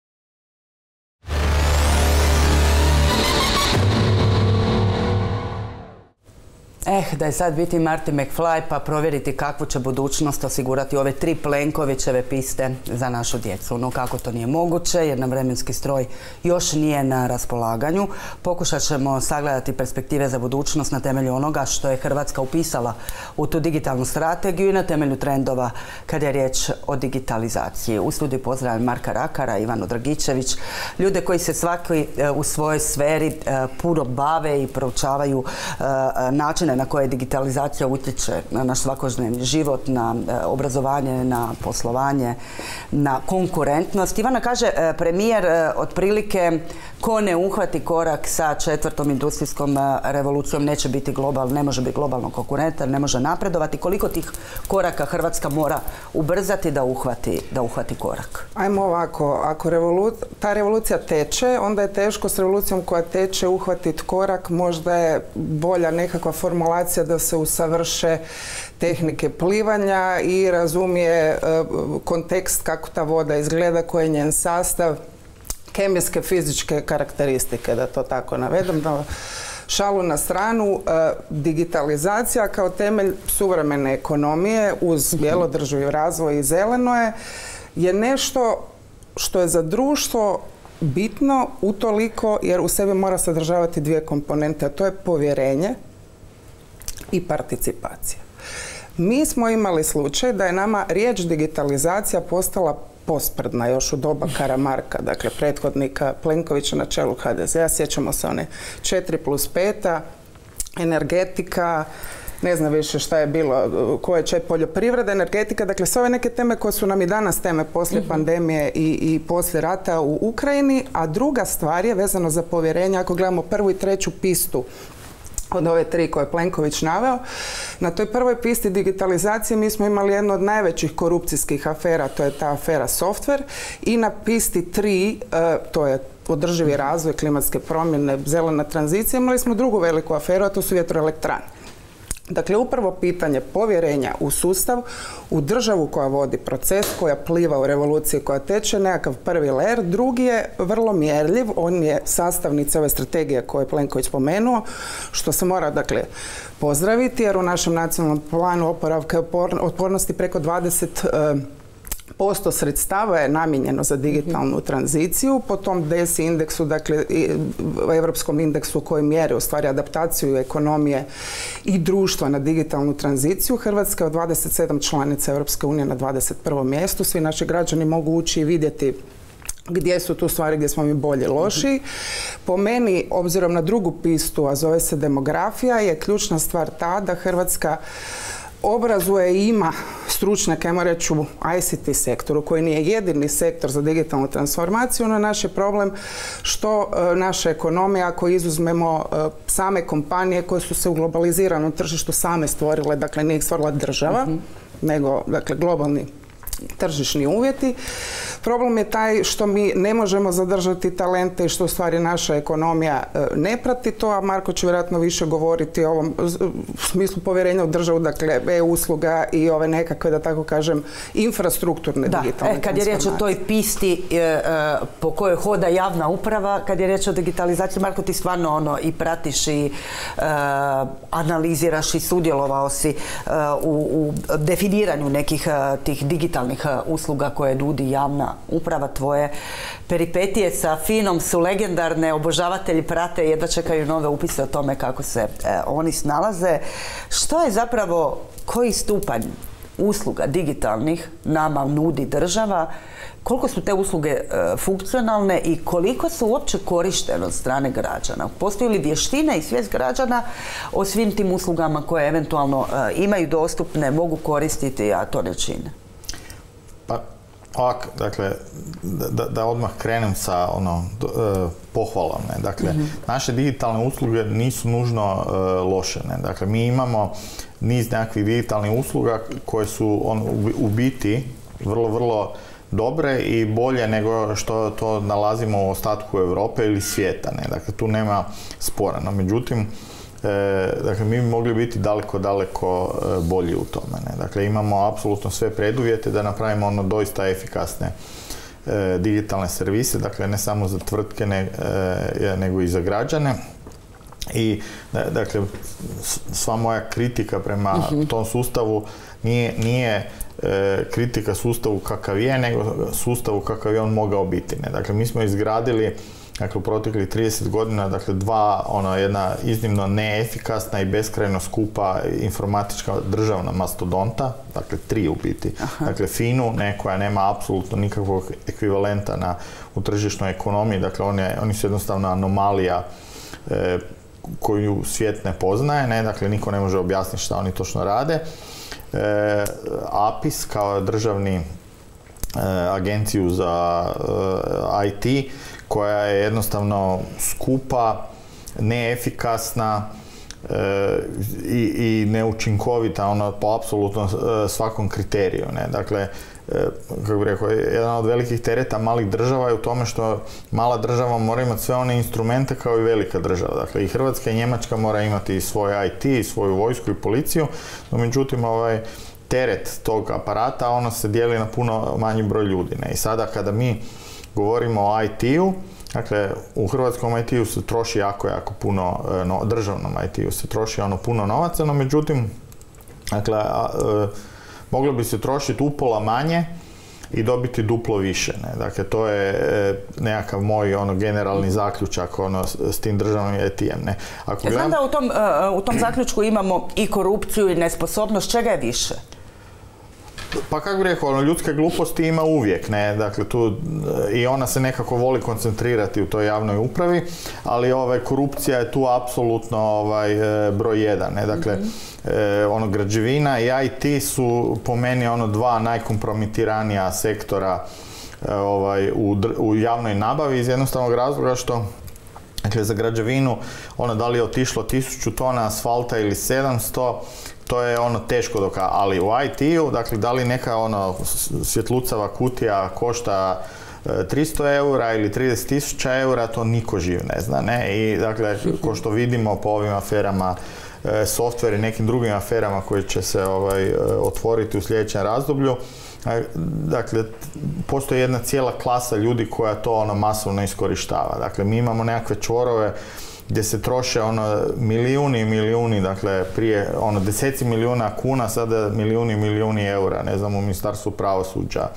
u HZZO-u, dakle ponovo govorimo o APIS-u, e, Poreznoj upravi, Carinskoj upravi. E, govorimo o tom državnom cloudu, ne koji nije postigao niti jedan jedini ovaj e, cilj zbog kojeg je osnovan i to je dokle, dakle ja tvrdim najskuplji oblak na planeti, ne, dakle čudo da uopće dakle ne, to nije oblak nego magla ono na, na, na površini, dakle to je strašno, ne. Dakle, stre- I, I u sva ta ulaganja, oprosti, najskuplji oblak e, na planeti, mi nismo sposobni izroditi e, registar stanovništva, e, nego im, ili registar koji bi bio uopće vjerodostojan, nego imamo popis birača koji je za 500 tisuća veći od broja punoljetnih i imamo popis stanovništva prijavljen Eurostatu o kojem neko kaže, ne neko, nego premijer, to vam baš nije nešto. to- je već jedna, ono, bavio sam se i, biračkim popisima, dakle to je jedan pravni problem na, prvom mjestu, ne, i nijedna vlada, dakle, e, dakle mi smo ono baš e, akutno svjesni problema od tamo ono 2000-ih, dakle 2008. 2009. kada je ono baš e, do detalja razotkriveno što se događa s tim biračkim popisima, ne, no međutim nijedna vlada od tada do danas nije učinila apsolutno ništa e, da bi to promijenila. Dakle, ja, ja bih rekao, ne poznavajući kako funkcionira popis stanovništva, da više treba vjerovati popisu stanovništva e, nego e, biračkim popisima, no istovremeno, dakle, premijer, slušao sam ga prije neki dan, je apsolutno u pravu, e, jer zakon je takav da su birački popisi ti, odnosno, e, odnosno dakle, popis prebivališta ljudi je taj koji je autoritativan za kreiranje biračkog Dok ne popisa. promijeniš zakon, ali u redu.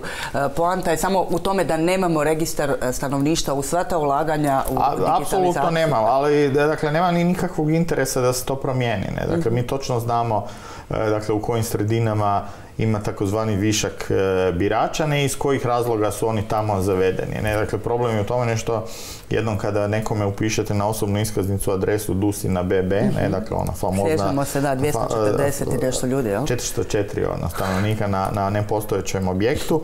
E, dakle, jednom kad ju upišete u, u osobnu iskaznicu, dakle, to je iznimno kompleksan pravni postupak da ga s te adrese maknete. Ne? E, I dakle, niko se nije htio uloviti s tim e, vrućim krumpirom. A osim toga, dakle, za većinu stranaka e, koje bi te, taj problem trebali rješavati, to uopće nije vrući krumpir, pa ono, zašto Što bi se oni brinuli To je ukusna krumpir salata. E, e, Ivana, e, vidiš li u ovoj donešenoj strategiji, ti si je baš iščitala, e, nekakav stvarni potencijal. On, mi znamo da je ona donešena i, i u velikoj mjeri zapravo je e, prepisana od Europske unije koja također e, se bavi ovim svim da to su problemima. strateški E sad, prioriteti politike da. Europske unije Vidiš li ti tu potencijal da i na ovoj razini hardvera, ajmo reći dostupnosti svih tih tehnologija i na razini softvera i tih e, soft vještinja, skillseva, mi možemo stvarno uhvatiti korak u sljedećih deset godina. Kažem, i digitalna ta europska strategija i to digitalno desetljeće koji predviđa, vizavi ovog što je Marko govorio, recimo 100% online korištenje javnih usluga na razini čitave Europske unije. Dakle, mi imamo tih problema i u nejednakosti, digitalne razvijenosti i u konvergenciji s obzirom na te strateške ciljeve. Dakle, puno je tu akata od, ne znam, digitalnog kompasa nadalje. Kao što sam rekla, dakle, ta strategija je na neki način morala biti donešena i zbog europske strategije i zbog ovog prioriteta u nacionalnom planu oporavka i otpornosti, ali kao i ona, sjetimo se, nacionalna razvojna strategija o kojoj smo puno pričali, e, koju su pisali, jel, konzultanti, čini mi se, Svjetske banke, Martina Dalić tada i tako dalje. Dakle, e, tu je pitanje da je to sve jasno mapirano, dakle, tu je, tu je sve jasno i nama, u stvari, eksterno E, eksterno će se mora dogoditi na ovaj ili onaj način promjena jer mi nećemo moći biti konkurentni kao jedna mala zemlja koja, da tako kažem, izumire u ovom cijelom europskom kontekstu i tu je zaista pitanje, dakle, postoje ta četiri, ja ću samo iznose mhm. navesti, ljudi zaista to mogu pročitati. Dakle, četvrta stupa na toj prvoj pisti za razvijeno digitalno gospodarstvo je predviđeno 303 milijuna eura. Za e, digitaliziranje javne uprave 515, e, za e, razvijene, dakle, ove mreže velikih kapaciteta njihov korištenje preko 311 milijuna eura i za razvoj digitalnih kompetencija za život i rad u digitalno doba 286 milijuna, to je mislim isto iznimno bitno, pričat ćemo vjerojatno još do kraja o tome obrazovanju.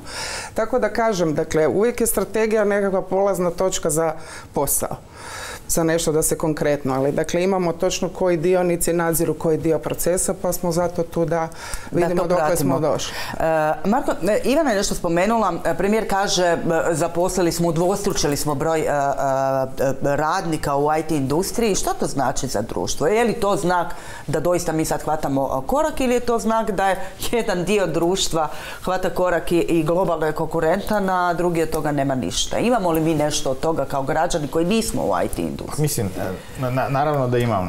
S time što treba reći, dakle, da sav taj rast IT-a je u biti nastao u privatnom sektoru. Ne? Dakle, država je imala vrlo malo ili nikakav utjecaj, ili, ili ako je imala utjecaj, može biti da je bio i negativan na, na, razvoj e, IT sektora kao takvog. Ne?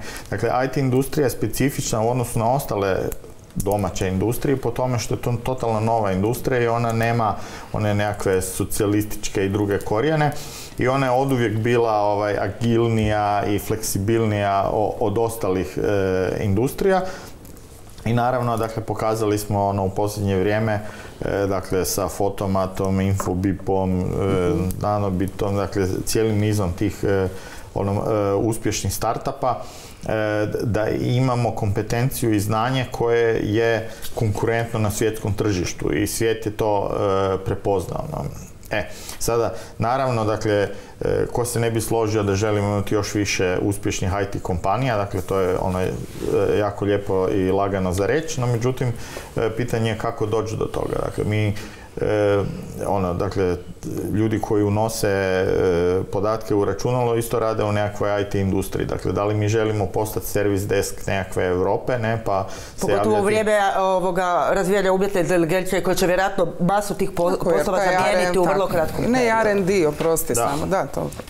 dakle, ono, da, da, li želimo to ili želimo raditi nekakve pametne stvari? Dakle, koliki je naš kapacitet za proizvodnju pametnih stvari, ne? Koliki je kapacitet obrazovanja da obrazuje one koji će pametne ne, ali mi oprosti, mi po ovom tom indeksu ljudskih kapaciteta, mi smo recimo na devetom mjestu, dakle mi razvijamo te stručnjake, ali kažem, nema toga mi, nečeg da se to... Mi, smo, dakle, toliko uh, loši, ne, imamo nekoliko veleučilišta, sveučilišta, neko proizvodi doista mhm. kvalitetne kadrove, dakle, svjetski priznate kadrove, ne, tako da, dakle, uz malo sreće imat ćemo dovoljno ljudi, ne, pitanje samo ko će te ljude zaposliti ili će oni sjesti na avion i odletiti u Dublin e, i potražiti posao tamo, ne, jer je ovdje jako teško dobiti e, dakle primanja koja su primanja koja, oni, koja mhm. čovjek s takvim kompetencijama može dobiti e, vani ne? i strašno će ga biti teško zadržati a velim mimo toga ne dakle ako već govorimo o iseljavanju dakle naših e, ono najpametnijih, najprogresivnijih, dakle najperspektivnijih ljudi,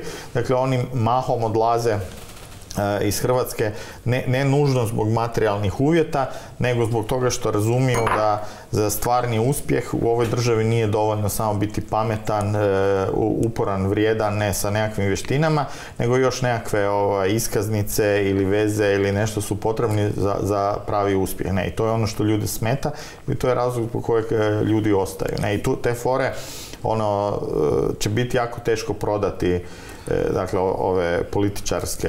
Ja bih se odmah nadovezala na tebe na ovo, tvoje nekakvo inicijalno pitanje vezano za obrazovanje. Dakle, mi u ovom visokoškolskom, da tako kažem, evo da uzmem samo Zagreb, FER, FSB, fantastične stvari se rade. Sad imamo i taj prvi ove godine interdisciplinarni studij kognitivnih znanosti između FER-a i filozofskog fakulteta i tako dalje. Međutim, u ovoj strategiji jedna od onih podstrategija koje su bitne, koja je proljetos donešena je ova strategija Hrvatska obraz obrazovanju do 2027. I u smislu digitalnih vještina se stalno ide na to visoko. Ja zaista mislim, obzirom da sam se bavila i sa mladima u proteklom periodu obrazovanjem i ono što se strateški na neki način događa unutar Europske unije, da se to zaista mora spustiti već na vrtičku razinu i da se način na koji se obrazuju naši učitelji, način na koji se sla, mi se nismo mogli složiti oko kurikularne reforme, sjećamo se onih prosvjeda koliko je već prošlo godina, Dakle, mi moramo imati adaptabilni nekakav sustav ili još jedan paralelni uz ovaj mastodonski sustav. Dakle, nama ti učitelji koji su se, ne znam, dobili su i plaće sve, ali nekakav način investicije, adaptacije uključivanje tih mladih isto tako u, razgovor s njima, ako ništa, jer govorit ćemo možda i ovom cyber dijelu strategije koja je užasno važna, mi smo imali ovaj hakerski napad i to Marko više zna. U zadnjih par godina neki veći su maloljetni ljudi ih izvršavali. Tako da jako, jako je tu puno složenih i mislim da mi kao malo društvo, da se otvori nekakve rasprave, da bude puno više te komplementarnog djelovanja, ne te političke e, dirigiranosti, uzimanja na sebe, dakle, da tako kažem, počasti za, ne znam, to što je mhm. Infobip sam napravio, e, to nas neće, ja mislim, nigdje odvesti, nego samo u Dublin. Dala sam mi šlagvort e, za iduće pitanje. Ivana je spomenula tu cyber sigurnost, dakle dok mi sad hvatamo ovaj korak i raspravljamo po meni o elementarnim stvarima, svijet se suočava i e, već traži rješenja za tu tamnu stranu e, medalje, e, to ugrozu na području cyber sigurnosti. Koliko smo mi kao država, pa, pa i kao Evropska unija otporni na hibridne ratove, na ratove dezinformacijama putem, putem mreža, pa i na same ove hakerske upade u sustave?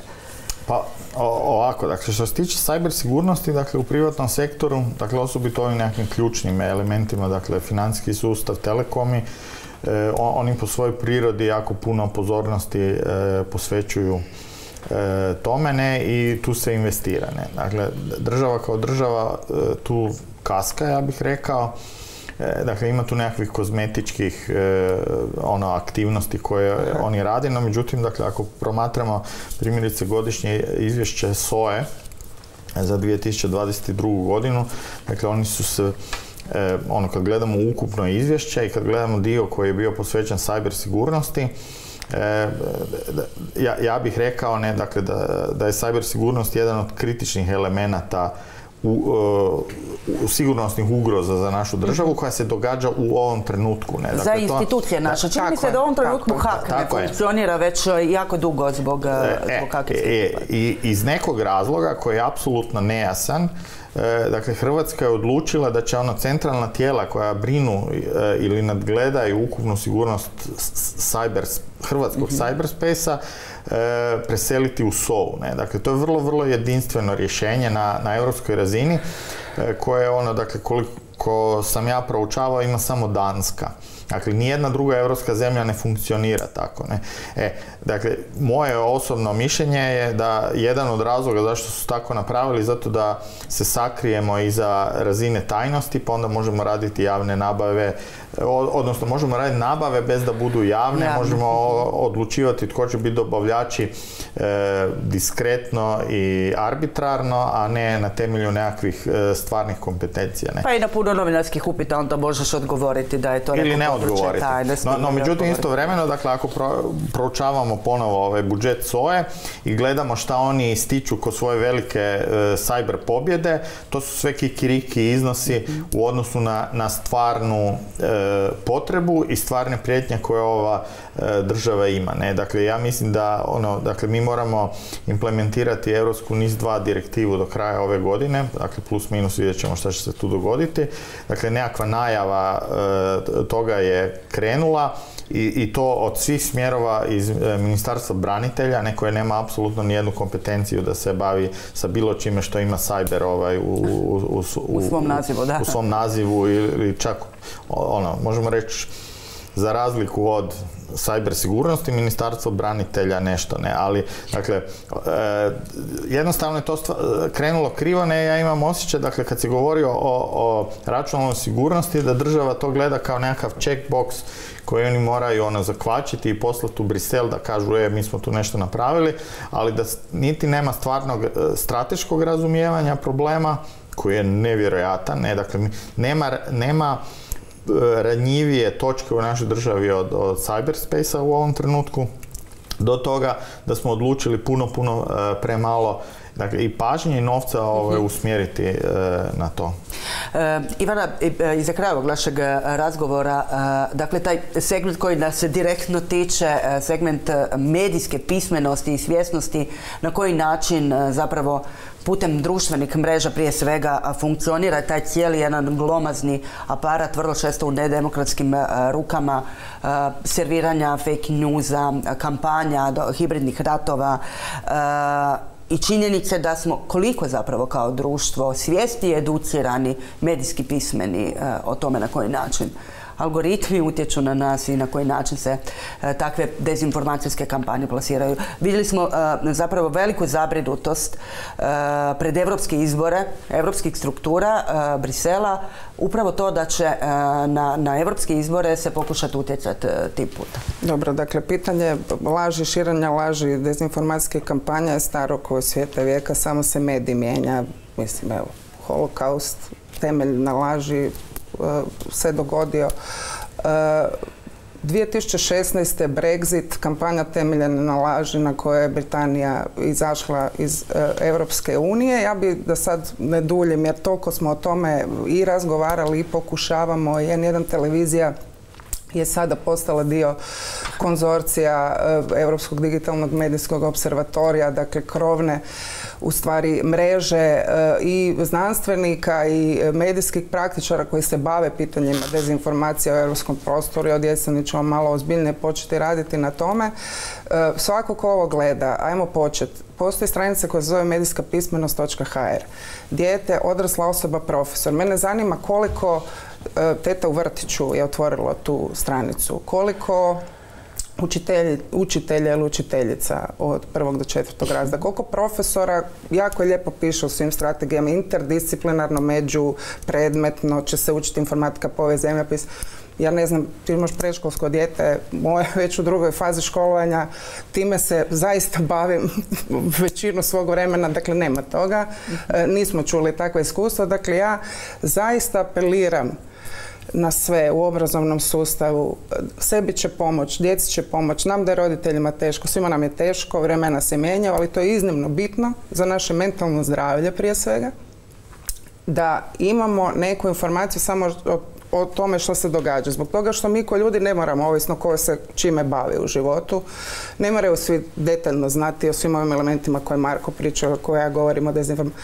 Samo da stanu, provjere informacije, da malo ograniče vrijeme, dakle da ne daju emocijama da ih da preplave i to je ta nekakva e, e, prva razina. Dakle, Europska unija na razne regulative sa tim e, dakle, ovim aktom za digitalne usluge, za, za digitalna tržišta pokušava regulirati big tech na neki način e, društvene mreže i tako dalje. I vezano za ove vanjske napade utjecaj Kine, Rusije, velikih aktera, iznimno se mora paziti da se u toj cyber obrambenom dijelu pazi na demokratska načela i da mi unutar svojih društava koji jesu sada sa ratom u Ukrajini, dakle suočena sa ono, dirigiranim izvorima koji mogu diseminirati sadržaje AI-em koji može to kognitivno jako djelovati na ljudsko kognitivno, da se o tome misli, da se na tome radi, ako već nećemo od ozgo, onda da ljudi od ozdo to, lokalne zajednice, gradovi, svi imaju nekakve mehanizme kojima mogu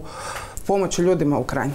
Krajnjoj liniji vrijeme, e, barem da o tome stvarno jako puno javno e, pričamo i da osvještavamo e, problem kod onih ljudi koji su nedovoljno educirani. Hvala vam puno. Načeli smo temu, mogli bi zapravo pričati jako dugo nešto kasnije čućemo. Sad ćemo imati mi seriju od jeseni, pa ne gledaju. Upravo tako, nešto kasnije čućemo jedan segment, jedan isječak iz intervjua bivšeg švedskog ministra obrazovanja Fridolina, način na koji se Švedska nosila upravo u tom obrazovnom sistemu sa edukacijom novih generacija da budu otporniji e, na ono što je tamna strana medalje, digitalizacije. Hvala vam još jednom na dolasku u točku na tjedan. Hvala. Hvala.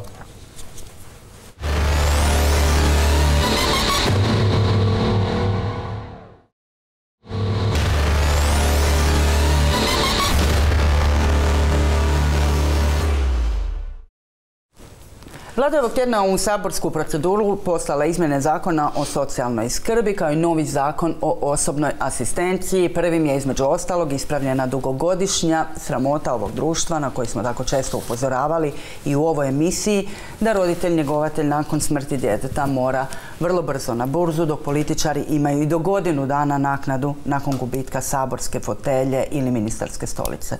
Pomaci i iskoraci, da ne kažemo čuda, se događaju, ali za mnoge osobe s invaliditetom, djecu s teškoćama i njihove obitelji zakonske odredbe su nejasne, žele pojašnjenja. U studiju smo stoga pozvali predstavnicu Ministarstva socijalne e, politike, savjetnicu ministra Marina Piletića, Zvjezdanu Bogdanović. Dobar dan, dobrodošli, hvala vam što ste se odazvali. Dobar dan, hvala lijepo na pozivu i dobro jutro svima. E, Suzana Rešetar, e, predstavnica udruge koja okuplja roditelje, njegovatelje, udruge Sjena. Dobar dan i vama. Dobar dan i vama. Pogledat ćemo uvodno jedno prilog koje je napravila kolegica Mila Moralić, pa se vraćamo u studiju. Ja, ja se ne volim snimati, slikavati. Ali Laura i njena mama spremno staju pred mikrofone. Nažalost, već imaju dovoljno iskustva s njima. Nije prvi put da se bore za svoja prava. Laura, izvrsna studentica teologije, slijepa i nepokretna, strahuje da bi od iduće godine mogla ostati bez asistenta samo zato jer joj je roditelj ujedno i njegovatelj. Na fakultet ide sa mnom moja asistentica no ovim zakonom ne znam do kada jer ministar je to toliko se definirao i drži nas konstantno u neizvjesnosti. Dakle, ja sam cijelo vrijeme u neizvjesnosti. Kolika će to biti satnica i ono što me najviše zalosti da ću izgubiti to. Dakle, onda se sve ponovo stavlja na roditelje i da oni se moraju raditi na nas. Što ja ne želim jer želim biti samostalna jer prepreka do toliko željenog asistenta bez kojeg osoba s invaliditetom ne može jesti ili primjerice otići na toalet ima na pretek. Uvjet je primjerice da živi sama, što je u većini slučajeva u startu nemoguće. Ili? Pa ovako mi čak razlišamo razvodu braka jer u zakonu piše e, da jedna roditeljska obitelj onda e, osoba s invaliditetom ima pravo na asistenta. Samo je pitanje, pošto mi e, država, vodimo se kao katolička država, kako će ja svojoj malodobnoj djeci objasniti da su se roditelji rastavili zato da bi njihova starija sestra imala pravo na asistenta, samim s time pravo na obrazovanje. Ako Laura i dobije asistenta, to može biti maksimalno na 4 sata dnevno, što je za ozbiljno studiranje premalo. Resorni ministar poručuje da su na studente posebno mislili. Njihovi zahtjevi više će se bodovati, a ako ta 4 sata ne budu dovoljna, on nudi i pomoćnike u nastavi. Iako je nejasno odakle ih misli toliko regrutirati. Ona dakle prvo treba tražiti uslugu osobnog asistenta. Mi smo osigurali da svi oni koji imaju projektno financiranje da imaju do kraja ove godine dok ne dobiju odluku Hrvatskog zavoda za socijalni rad onda naravno može računati i dakle na u kontinuitetu osobnog asistenta, a onda treba računati naravno i na usluge pomoćnika u nastavi. A njih ima dovoljno i moći će se naći za sve kojima pa treba? Ima dovoljno, vidite da ti ljudi rade. Koliko mala sadnica, mi smo pomoćnike u nastavi prošli kroz srednju školu, to je bio pakao svake godine. Projekti e, napisani nisu odobreni i ljudi se ne javljaju, to je premala sadnica. Pomoćnik u nas na fakultetu mislim da je nemoguće, neizvedivo, ne znam. Piletić ne odustaje i danas poručuje da je zakon donesen u dogovoru s brojnim udrugama, da je dobar, sveobuhvatan i da je riječ o velikom iskoraku.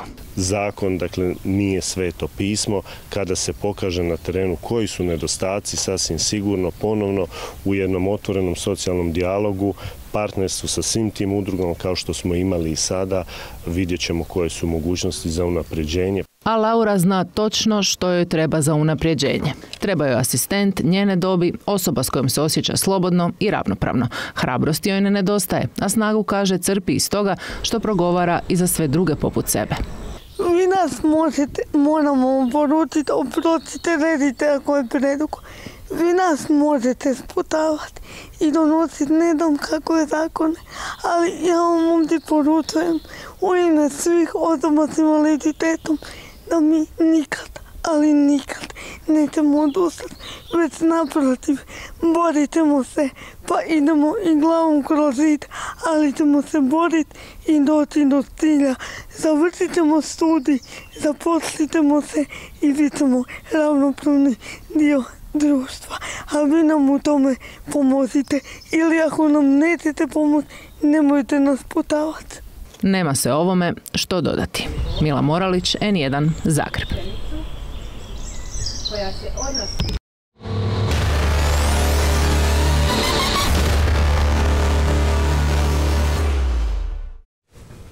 Gospođa Zvijezdana, e, Laurina priča na neki način integrira puno onoga što ljudima, što korisnicima nije jasno u ovom e, e, zakonu o osobnoj asistenciji na kojih se doista dugo, dugo čekalo. Hoće li se, evo, prvo, Laurini roditelji trebati razvesti da bi ona imala uopće pravo na osobnog asistenta? Ja ne vidim razloga da se Laurini roditelji rastaju. Laura je i do sada imala asistenta i koristila je njegovu uslugu i u vrijeme studiranja za obavljanje svojih studentskih obveza. To će također nastaviti u narednom razdoblju, budući da je u članku 34 stavak 6 dodan kao dodatna iznimka. Mhm. Dakle, iznimno e, student koji ima, osoba koja ima status studenta može ostvariti pravo na uslugu osobne asistencije sukladno satnici propisanoj stavcima 1 i 2 zakona koji se odnose na kriterije kriterije po kojima se ostvaruje to mhm. pravo. Dakle, ne vidim bojazni, mi smo to promijenili između ova dva čitanja, uvažavajući e, apsolutno potrebe studenata. E, ono što možda ne bi bilo zgorega je da se promišlja i da se pomoćniku nastavi kao usluga proširi i na studente, pa bi onda u tom slučaju i ona imala pravo i na osobnog asistenta u svoje slobodno vrijeme, ali bi imala onda mogućnosti korištenja samo To sada nije slučaj u ovom predloženom Ne, u ovom predloženom zakonu nije, ali je tendencija da se i to proširi. Ali u svakom slučaju, kako bismo izbjegli ovo čega se Laura mhm. boji, a to je da ostane bez osobnog asistenta, smo između dva čitanja uveli tu iznimku kao dodatnu. Iznimku smo još proširili i na eh, one korisnike ove usluge koji su osobe čiji roditelj koristi ono pravo temeljem zakona o socijalnoj skrbi, eh, a oni su osobe koje su zapravo najteža kategorija, najveći stupanj invaliditeta i potrebna im je medicinsko-tehnička pomoć. Dakle, obuhvatili smo proširenju i njih. Dakle, eh, u odnosu na prvo čitanje proširena je cijela ova priča oko zakona 34 za više od 2000 korisnika.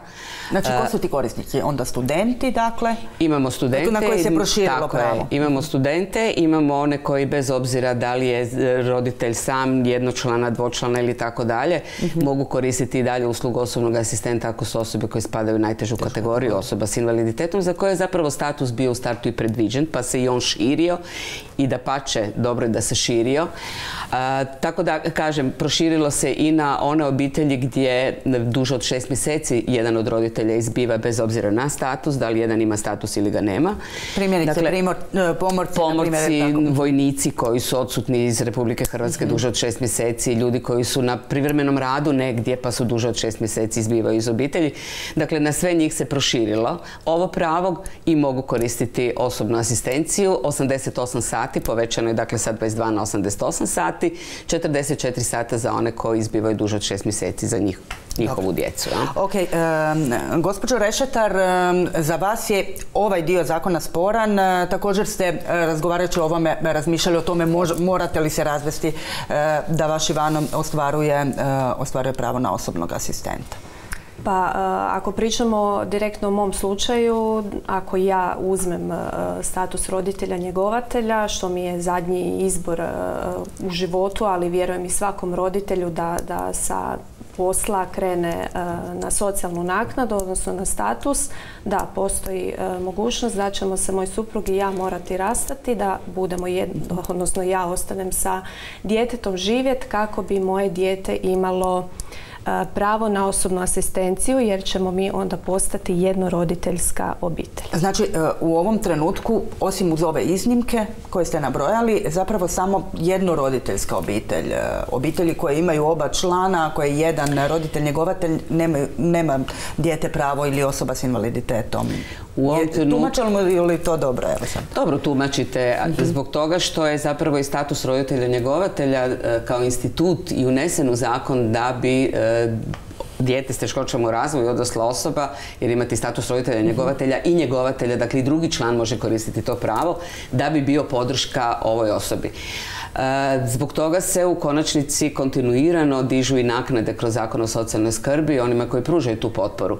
Nemojmo zaboraviti da imamo direktivu Europske komisije koja zapravo zabranjuje dvostruko financiranje za praktički identičnu uslugu. Ova usluga kad realno gledamo je doista identična. Mhm. Pružanje usluga osobne asistencije ili roditelj njegovatelj, njegovatelj pruža praktički identičnu uslugu svom članu obitelji. I mi dogod koristimo sredstva Europskog socijalnog fonda, u ovom slučaju je to Europski socijalni fond plus, naredne tri godine koristimo sredstva u iznosu od 102 milijuna eura kako bismo osigurali održivost ove usluge, jer smo uslugu povećali i planiramo povećati za više od 15 tisuća ljudi. Tako da sljedeće pitanje je onda uvijek gdje ćete ih naći, gdje bismo ih našli kad bismo još više širili ovo pravo na, na uslugu osobne asistencije.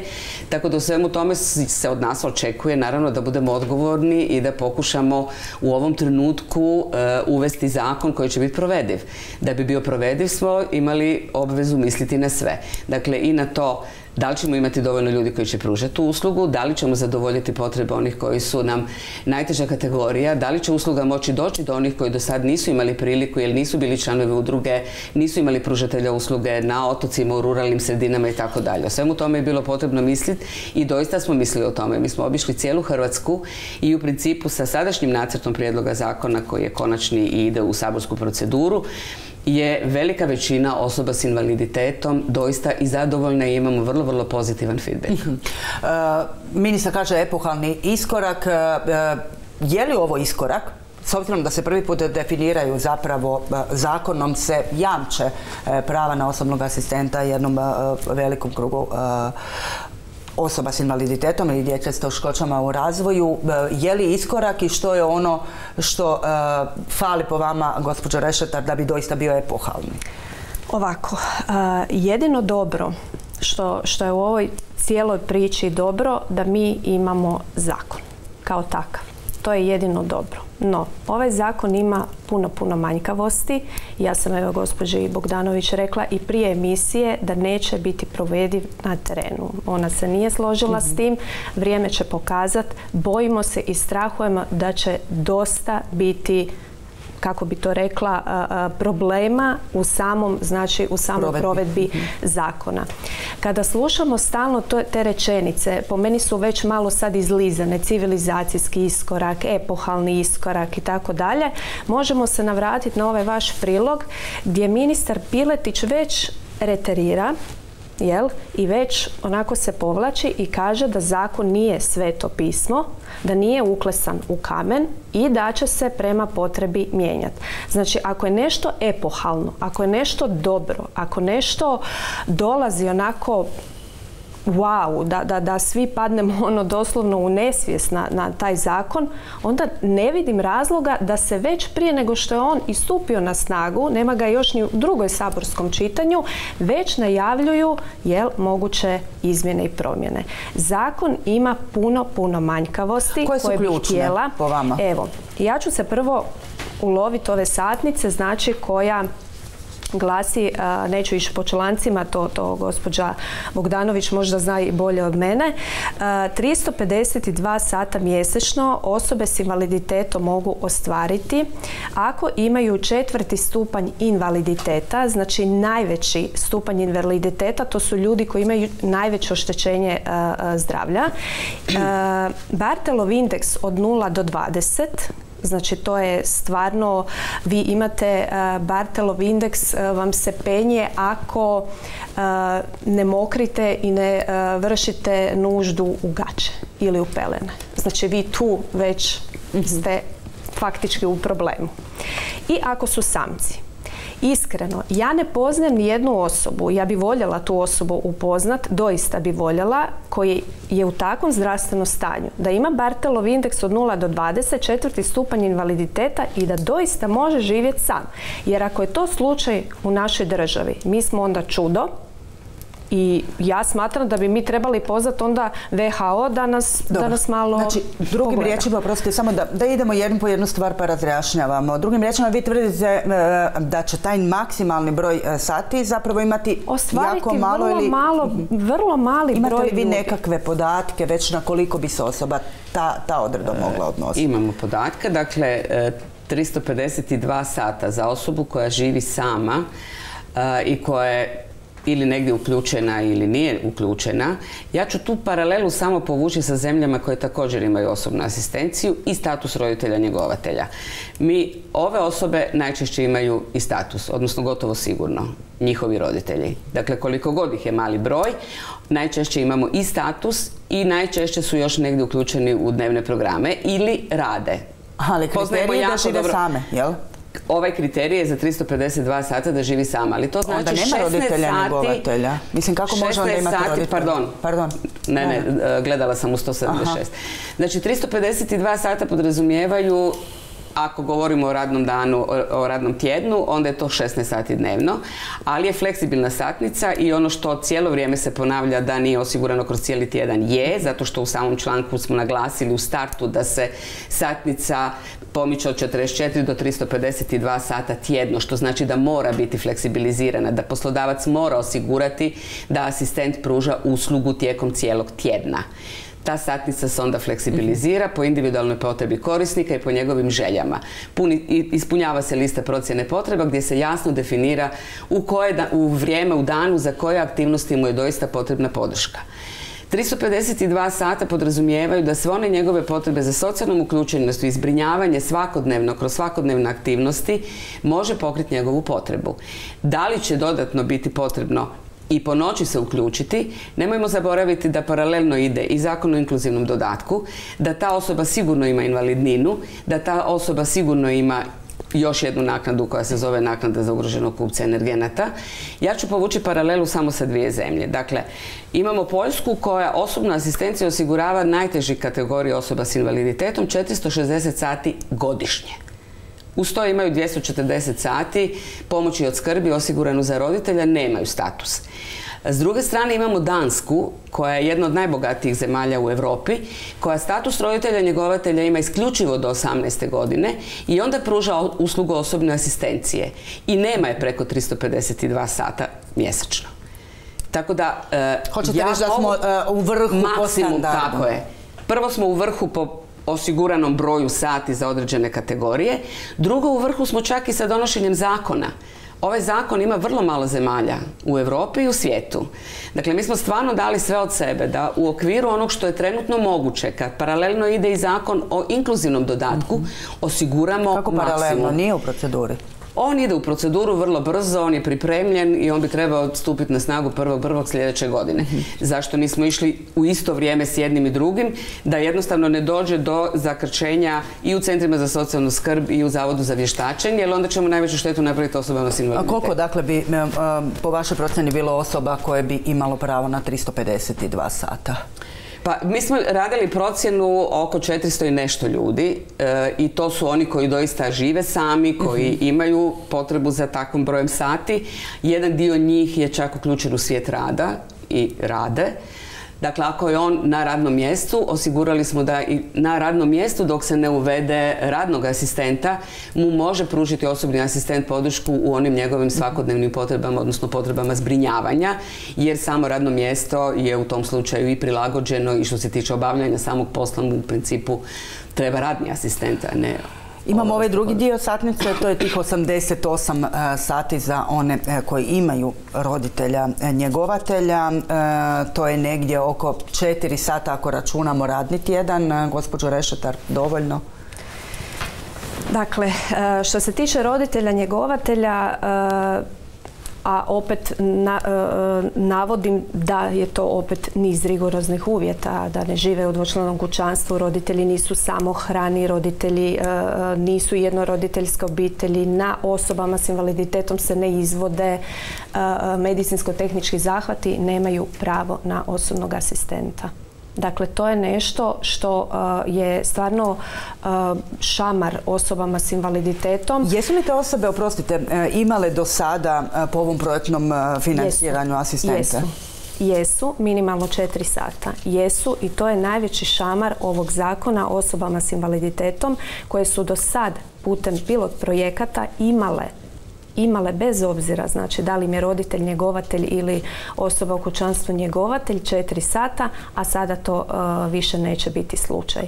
Dakle, ja mislim da, da uh, moram to reći da je gospođa Zvijezdana danas uh, najbolja najbolja zapravo izaslanica ministarstva koja je mogla biti da odgovori na sve ove nedoumice, da se konačno osobama s invaliditetom i njihovim obiteljima da jasna poruka. Dakle, osvještavanje će biti bolno mi imamo niz rigoroznih uvjeta da bi uopće osobe s invaliditetom mogle ostvariti e, osobnu asistenciju i to nije dobro u ovome zakonu. E, vi ste objasnili zbog čega se nije išao na, na zapravo sve osobe s invaliditetom i djecu s teškoćama u razvoju. E, možemo li kad govorimo o ovom satnici, kaže se maksimalno zapravo do 88 sati. Kako će izgledati ta procedura u kojoj će se određivati, je li to, postoji li neki minimum sati? E, minimum je 44. Mhm. E, zašto do 88? Zato što su nam same osobe s invaliditetom u puno slučajeva govorile da zapravo im treba dozvoliti da se jako individualizira ta procjena. I ovo je bio način da se, oni su zahtijevali, e, bilo je striktno 88, 176, 352, oni su insistirali da bude do, da se fleksibilizira. Zašto? Zato što se i u proteklih 16 godina pokazalo da odobravanjem 4 ili 8 sati nije nužno svakome od njih trebalo toliko. Uzmimo u obzir da je zakon o osobnoj asistenciji prvenstveno donesen kako bi oni bili socijalno uključeni. Dakle, osnovni cilj ovog zakona je, socijalna mhm. uključenost ne e, sama zdravstvena njega i skrb. Iako asistenti često rade i to. No međutim, e, kažem, mi smo procijenili da zapravo sa četiri sata dnevno on doista može biti socijalno uključen. Roditelj doista ta četiri sata može imati vrijeme za sebe i može se i odmoriti od skrbi od samog korisnika. Ono što se cijelo vrijeme dodatno trudimo je da proširimo značajno paletu usluga u zajednici kako bi bili uključeni i u zajednici u određene vrste usluga. Pardon, od poludnevnih boravaka, od kreativnih radionica i tako dalje. Da i to vrijeme onda roditelj može predahnuti. I to je nešto što, kažem, e, jedan... ako samo možemo razjasniti, e, to zapravo nije pravo roditelja na predah. To je pravo osobe s invaliditetom da se socijalizira, odnosno da stekne neki stupanj neovisnosti. Zašto onda to pravo jednako nema i osoba koja ima e, dva roditelja, od kojih je jedan roditelj njegovatelj, jer i ona treba tu neku svoju neovisnu. Evo čuli smo Lauru, ima oba roditelja, želi svoju kako bi rekla, neovisnost. Ja vas potpuno razumijem i Laura će imati asistenta. E, Dobro, neko ko nije student, ne? E, kažem vam, zato što u ovom trenutku mi naprosto nismo smjeli ići sa dvostrukim financiranjem. Išli smo sa iznimkama koje ćemo pokušati što je moguće detaljnije objasniti Europskoj komisiji. I dok god koristimo sredstva fondova, a kažem ponovno, koristimo sljedeće tri godine, 2026. se sve spušta na proračun i mi ćemo imati nakon toga dovoljno vremena e, za eventualno uvođenje još dodatnih korisnika u samu mhm. uslugu. Dakle, svjesni smo da to nije baš ok prema jednoj kategoriji, pa, ali sad trenutno ne može drugčije. Druge strane, ajmo usporediti onoga ko nema roditelja njegovatelja, ko e, ne koristi ni jednu uslugu u zajednici i nije imao priliku dobiti uslugu osobne asistencije. Nama je bio cilj... To je žalostno da postoji. Tako je, ali ih ima. Imamo ih jako puno i na otocima i u ruralnim sredinama jer nema pružatelja usluga i zbog toga ćemo uključiti sve moguće mhm. pružatelje usluge, usluga socijalne skrbi. E, ajmo sad i e, jako bitan e, dio, upravo to e, kako će ovo što je na papiru izgledati u stvarnosti doista otkud zapravo 15.000 asistenata, još dodatno asistenti u, nastavi. Mi doista imamo, kako pratim taj sektor godinama, svake godine uh, od, već od, od, od lipnja krenu, krenu te molbe putem društvenih mreža da se neko javi za asistenta u nastavi ili za osobne asistente. To je jako teško već sad mnogo razini prava naći. Tako je. Do sad je bilo zapravo prilično demotivirajuće zbog iznosa naknada koje su dobivali. Što se tiče osobnih asistenata, mi smo poduzeli sve da budu motivirani. Prva motivacija je zapošljavanje na neodređeno, što je bilo dosta teško kroz financiranje programsko, a pogotovo projektno. Dakle, u ovom slučaju se ugovara sa poslodavcem, poslodavac zapošljava osobnog asistenta i može mu ponuditi posao na neodređeno. To je prva sigurnost i za korisnika i za asistenta. Drugo je povećanje ukupne cijene sata za 51% u Hrvatskoj u kojoj, kao što vidimo, nije moguće osigurati niti plaće da rastu tim tempom, a niti mirovine još manje. Tako da mislim da ovih 51% može omogućiti i osigurati poslodavcima kako nevladinom sektoru, mhm. tako i svima ostalima, da bitno dignu njihove plaće i da im to bude dodatna motivacija. S treće strane imamo i program za želi koji ide paralelno već dugi niz godina, u kojem je jedan dio ljudi već educiran kao njegovatelji i mogu se uključivati i u ovaj program tražeći trajno zapošljavanje. Mi znamo da program za želje nije nešto što je trajno, niti mu je bila ideja da bude trajni. Mhm. I imamo dakle i taj bazen potencijalnih pružatelja usluga osobne asistencije. Gospođo Rešetar, vidite li vi na ova tri stupa koje je spomenula gospođa e, Bogdanović Lako, da će ja bih se samo vratila na jednu da, mi ne, da ne propustim priliku iskomentirati kada je gospođa e, Bogdanović spomenula znači te individualne procjene gdje su osobe s mhm. invaliditetom iskazale da njima možda ne treba da one sudjelova, da bi one sudjelovale u donošenju, odnosno da su one procijenile da im je možda jedan dan više mhm. potrebno, a drugi dan manje. Tako je, mogu fleksibilizirati. E, znači u ovom zakonu izostaje odredba o obaveznom sudjelovanju korisnika. Znači to je osoba s invaliditetom u izradi procjena potreba u njegovom domu zajedno s komisijom zbog čega osoba s invaliditetom ponovo postaje i ostaje samo objekt prava. To to mislim da nije u redu, a nije, nije u redu da e, osoba s invaliditetom može pružati, e, može birati pružatelja usluge, ali ne i samog osobnog asistenta koji će njemu zapravo tu uslugu pružati, odnosno činiti, odnosno drugom riječi skrbiti o njemu. Dakle, tu se ta autonomija, ta, to dostojanstvo osoba s invaliditetom sputava. Evo, može još. Ne bih se složila s tim i moram se ovdje nadovezati uz dužno poštovanje gospođe Rešetar, ali u zakonu jasno piše da korisnik sudjeluje u listi procjene potreba, da vrlo jasno može iskomunicirati koje su to aktivnosti u kojima mu je potrebna podrška, u koje vrijeme mu je ta podrška potrebna, da li mu je potrebna kroz cijeli tjedan ili ne. Jer uzmimo u obzir da ima i onih koji imaju veliki broj članova obitelji i ne žele nikoga preko vikenda. žele preko tjedna dok roditelji rade, dok su drugi članovi angažirani kao studenti, školarci ili šta već. E, tako da svakako on sudjeluje, ako nije u mogućnosti sudjelovati sam, s njim sudjeluje njegov zakonski zastupnik, odnosno skrbnik.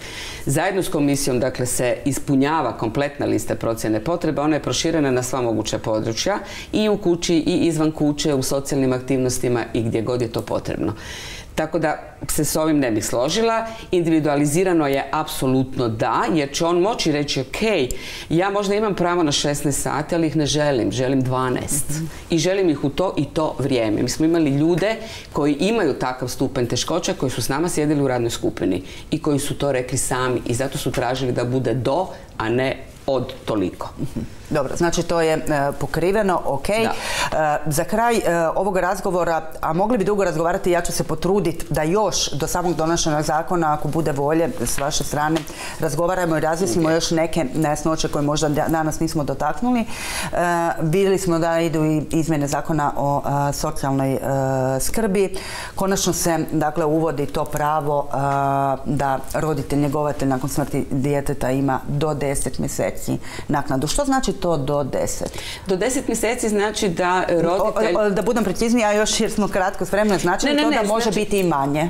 Može biti manje, odlučit će sam roditelj. Dakle, ako je roditelj procijenio da se prije isteka mhm. tih deset mjeseci želi vratiti u svijet rada, naravno da može prekinuti to pravo i vratiti se u svijet rada. Zato je stavljeno do. To mi, Ali to mu je mi bilo 10 važno sigurni. objašnjenje. Hvala vam e, za danas. E, Razgovarat ćemo definitivno još o, ovoj temi. Znamo da vam je to u, ovoj emisiji nekako posebno, e, posebno na srcu. Rasprava u Saboru još također slijedi. Postoji li prostor za izmjenu nečeg nakon te rasprave? Uvijek postoji prostor, dakle mi ćemo ići i na saborske odbore, ide se u sabor, prije nego što će sabor donijeti zakon, uvijek postoji mogućnost dopune. Ali kažem, mi smo u ovom trenutku doista išli maksimalno sukladno mogućnostima u kojima se sad krećemo. Hvala vam na, na sudjelovanju u točke na tjedan. Hvala vama. Hvala vama.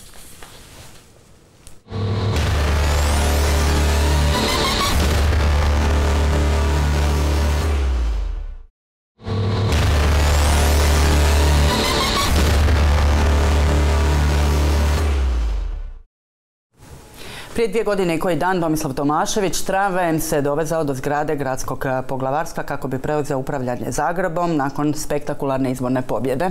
Dvije godine kasnije sindikati Zeta tvrde da su ti tramvaji još nesigurniji za zaposlenike i putnike, da nemaju rezervnih dijelova, da se novi autobusi kvari, traže povećanje plaća. Stanje u Zetu samo je jedan od brojnih izazova s kojima se suočava tim Tomislava Tomaševića na polovici mandata. Tu je pobuna roditelja na vidiku zbog premalo mjesta u vrtićima. Oporba predba- predbacuje gradonačelniku da grad elementarno komunalno ne funkcionira, prišivaju Zagrebu epitet nepokošenog grada, a čak i ko pokoji koalicijski partner negoduje zbog infrastrukturnih projekata poput Jaron Paronam- panorame koji kažu neodoljivo posjeća na Bandićev zagrebački Manhattan. Gost intervjua tjedna, točke na tjedan je zagrebački gradonačelnik Tomislav Tomašević. Dobar dan, dobrodošli Dobar dan u. TNT. Dobar dan i vama i vašim gledateljima i gledateljicama. Od svih ovih izazova koje sam nabrojala, a tu ih je još puno, ne Nećemo mogu... sve sigurno istići. Da, da, sigurno nećemo, ali ne mogu vjerovati da otvaram intervju pitanjem e, što da rade građanin kad na ulici sretne divlju svinju. Pa ja ne bih rekao da to ne možete vjerovati jer nisu divlje svinje od jučer. Ono, bilo je njih u Zagrebu i prije i na Medvednici i u Blatu i tako dalje. A s Ali baš strane, onak da Horvačanskom e, marširaju i po provjerite, kvartovima. provjerite medijske izvještaje u zadnjih deset godina i vidjet ćete da ih itekako bilo. S druge strane, to nije ništa neobično čak i za europske metropole. Pogledajte Berlin, pogledajte Varšavu, pogledajte Rim. A, tako da, koji. Je, imaju puno, sam jednom lisicu probleme. u sred Berlina, to puno je veće, puno veće probleme od Zagreba. Dobro, ali što ste napravili konkretno po povodom ovog problema? Pa sa lovačkim udrugama radimo znači, kontrolu populacije i ova zima je bila nešto toplija. A, tako da u cijeloj Europi je nešto veća Mhm. populacija divljih svinja, tako da se radi na tome i ne bi trebalo biti neki problema već. Mhm. Što se radi na tome? Pa kažem, različite mjere kontrole populacije. Znači to je razlog, e, topla zima, a ne ovo smeće koje se skuplja oko kontejnera koje to. vidjeli smo neki dan, e, baš kadrove koje je snimio jedan e, građanin gdje one kopaju po tom smeću, jedu. Pa ne bi sigurno smedenice dolazile do Prečkog radi, radi da tamo nađu prvi kontejner. Tako da, kažem, znači, pogledajte sve europske gradove, svugdje je veća populacija svinja zato što je bila jako topla zima. Ok, e, iduća tema o kojoj želim, e, jeste li možda razmišljali doista o nekoj uputi da ipak kažete građanima, mislim, ja ne znam šta da radim kad sretnem divlju svinju na Horvačanskoj, neki dan je bila doista Postoji. blizu mog stana. Postoje upute koje, kojima se bavi zapravo zoološki vrt Mhm. a, i postoje neki informativni materijali oko toga. A ali dajte doista- recite, šta da ljudi rade? Pa mislim, u svakom slučaju ih ne treba hraniti, ne treba im prelaziti posebice ako imaju madunce, jer tada znaju biti agresivni, ali uglavnom nikakvih s njima agresivnih incidenata, kao što znate, do sada i nije bilo. Ok. U svakom slučaju ne treba ih hraniti. Bio je jedna, jedan prilog, to se sjećam prije par mjeseci, gdje je jedna gospođa hranila divlje svinje. Da, da, neki dan na Facebooku ne. jedne moje prijateljice koje ih je doslovce vidjela nekoliko na Horvačanskoj, e, javlja se čovjek koji kaže da ih hranio e, onim slatkišima za pesene. Ponavljam, to se niko ne bi smjelo raditi i onda nije ni čudo što se spuštaju u grad. Sad su građani krivi za Pa divlje nisu građani krivi, ali, ali doista ono, to je kršenje nekoliko pravila. U redu. E, idemo na još jednu ad hoc temu i ova nam je upala zapravo na, nekako na one planirane e, zadane teme e, intervjua koji su doista nekako najkrupniji problemi. Jedna je isto iskrsnula e, danas e, u novinama tema oko, građ- od- oko gradnje stadiona u Krančeviću, odnosno rekonstrukcije stadiona. Problematizira se činjenica da nije bilo javnog natječaja. Je li bilo javnog natječaja ili nije bilo javnog Nije natječaja? trebalo biti javno natječaj za početak. Znači nije ga bilo? Samo, samo da pojasnim. Znači kao prvo da ne brkamo javnu nabavu i arhitektonsko-urbanički natječaj. Znači, jedna stvar je što se tiče toga da je riječ o rekonstrukciji stadiona. Budući da je riječ o rekonstrukciji stadiona, a ne o gradnji novog, a, jer se rekonstruira zapadna tribina, istočna tribina se modernizira, dog- dograđuje se sjeverna i južna, nema javnog arhitektonskog urbaničkog natječaja. Druga stvar Čekajte, jest... oprostite. Znači, grade se dvije nove tribine Da. i dvije se rekonstruiraju i to nije gradnja. To nije a, prema GUP-u a, nešto zbog čega bi trebalo raditi javni arhitektonsko-urbanički natječaj. Koji će biti za Maksimirski stadion? Ruši se Maksimirski stadion, gradi se novi i bit će vjerojatno i međunarodni javno, a, javni natječaj u tom smislu. E sad, što se radilo? Znači, radilo se idejni projekt, a budući da je riječ o jednostavnoj javnoj nabavi, jer je riječ o iznosu koji je manji od 200.000 kuna, tu nije bilo otvorenog postupka, niti ga treba biti. Znači, mog- znači, mogli smo zapravo čak dodijeliti posao bilo kome, bez ikakvog, uz jednostavnu narudžbenicu, bez ikakvog natječaja, međutim, ipak se išlo na to da se a, pozvalo a, arhitektonski fakultet i dva privatna a, arhitektonska studija da pošalju svoje ponude za idejni projekt. A, arhitektonski fakultet je poslao ponudu koja je bila najjeftinija i najpovoljnija i oni su odabrani da rade idejni projekt. I to je to. Znači, taj arhitektonski fakultet dva profesora, Kasun i Koružnjak, koji su dobili, koji su radili taj idejni projekt i sad kad se idejni projekt napravio, ide javna nabava za izradu glavnog i izvedbenog projekta koje će dobiti u otvorenom postupku javne nabave, budući da je riječ o većem iznosu, onaj ko daje najpovoljniju ponudu. I tek nakon toga ide nova javna ponuda, pardon, javna nabava za izgradnju stadiona, koju će dobiti neka građevinska firma. Opet Kaže koja Oto Barić, a, arhitekt, a, ovako je radio Bandić. Ono, malo ispod a, 200 tisuća kuna, ide se netransparentno u nabavu, znači- dobiva posao neko ko je blizak a, zapravo zamjeniku gradonačelnika. Arhitektonski fakultet je dobio posao. Arhitektonski fakultet. Jesi li sve to mogli izbjeći e, da ste išli? Zašto se nije išlo? Mislim, možemo se e, zalagao, dobili ste izbore na tome da imate nadstandard u transparentnosti. mislim, po meni, a, mi smo svjetlosnim miljama udaljeni od modela kako je Bandić radio. Svjetlosnim miljama. Znači, sjetite se, toliko je bilo korupcijskih afera da su svaki tjedan put, punile medijske stupce. Ne, ja pitam za Ne, ne, stvari. ali Zašto pa- se nije išlo pa, onda evo, ono? a ja nije nužno po zakonu. Ali ja, pa, Šta bi e, vas koštalo? vam objasnio, objasnio sam. Znači, a, tražilo se, a, moglo se čak dodijeliti direktno posao, ali se to nije radilo, nego su se tražile tri ponude. I to je to. Znači, bit će ovako idejni projekti napravljeni, ide se u postupak otvoreni javne nabave za glavni izvedbeni projekt i kasnije u postupak za gradnju. E, još uz to nema onog... Što će mi sad neko reći da arhitektonski fakultet nema reference? Ne, Jel niko ne kaže da nema reference. Ne, Jel nema reference, ali biste zapravo i, i, i taj nekakav prigovor na mogući sukob interesa izbjegli da je bila, kako bi rekla, Nije natječaj. bilo nikog sukoba interesa i to je to. Dobro, e, vezano uz taj projekt e, također, e, tek treba tek treba izaći zapravo generalni urbanistički e, plan, je li, e, uređenja. Ne, Nego- ne, urbanistički plan uređenja se radi za blok. GUP Dobro. je trenutno u izmjeni i on će trajati sigurno neki proces oko dvije godine. A, Zašto, zašto me zanima? E, Kao neko ko je ljubitelj nogometa, ali nije ono, pasionirani e, navijač, pitam se kako će izgledati i na koliko dugo situacija e, u tom kvartu, inače gusto naseljenom u Trešnjevci, 50 puta godišnje kad, na primjer, tamo igraju Dinamo ili Lokomotiva ili... Kako će izgledati? Hoće li biti dovoljno mjesta da ti svi navijači dođu? Znači, Hoće li stadion- bi- hoćemo li imati kaos? Nećemo imati kao. Stadion u Krančevićevoj a, funkcionira sada sa, sa 5000 mjesta otprilike. A, i u- Sad će biti 12. sad će biti 12. Međutim, a, ono što To je puno više, oprostite. Ako mogu završiti. Znači, a, stadion u Krančeviću je samo dio plana koji je ključan kako bi se mogao srušiti konačno Maksimirski stadion i izgraditi novi. Jer bi Dinamo morao negdje igrati za to vrijeme. Da bi se mogli igrati međunarodne utakmice, da bi se zadovoljila kategorija UEFA za utakmice Lige prvaka ili utakmice koje igra, pa i nogometna reprezentacija kad igra u Zagrebu, bilo je nužno povećati kapacitete Krančevićeve sa tih 5000 na 12.000 mjesta.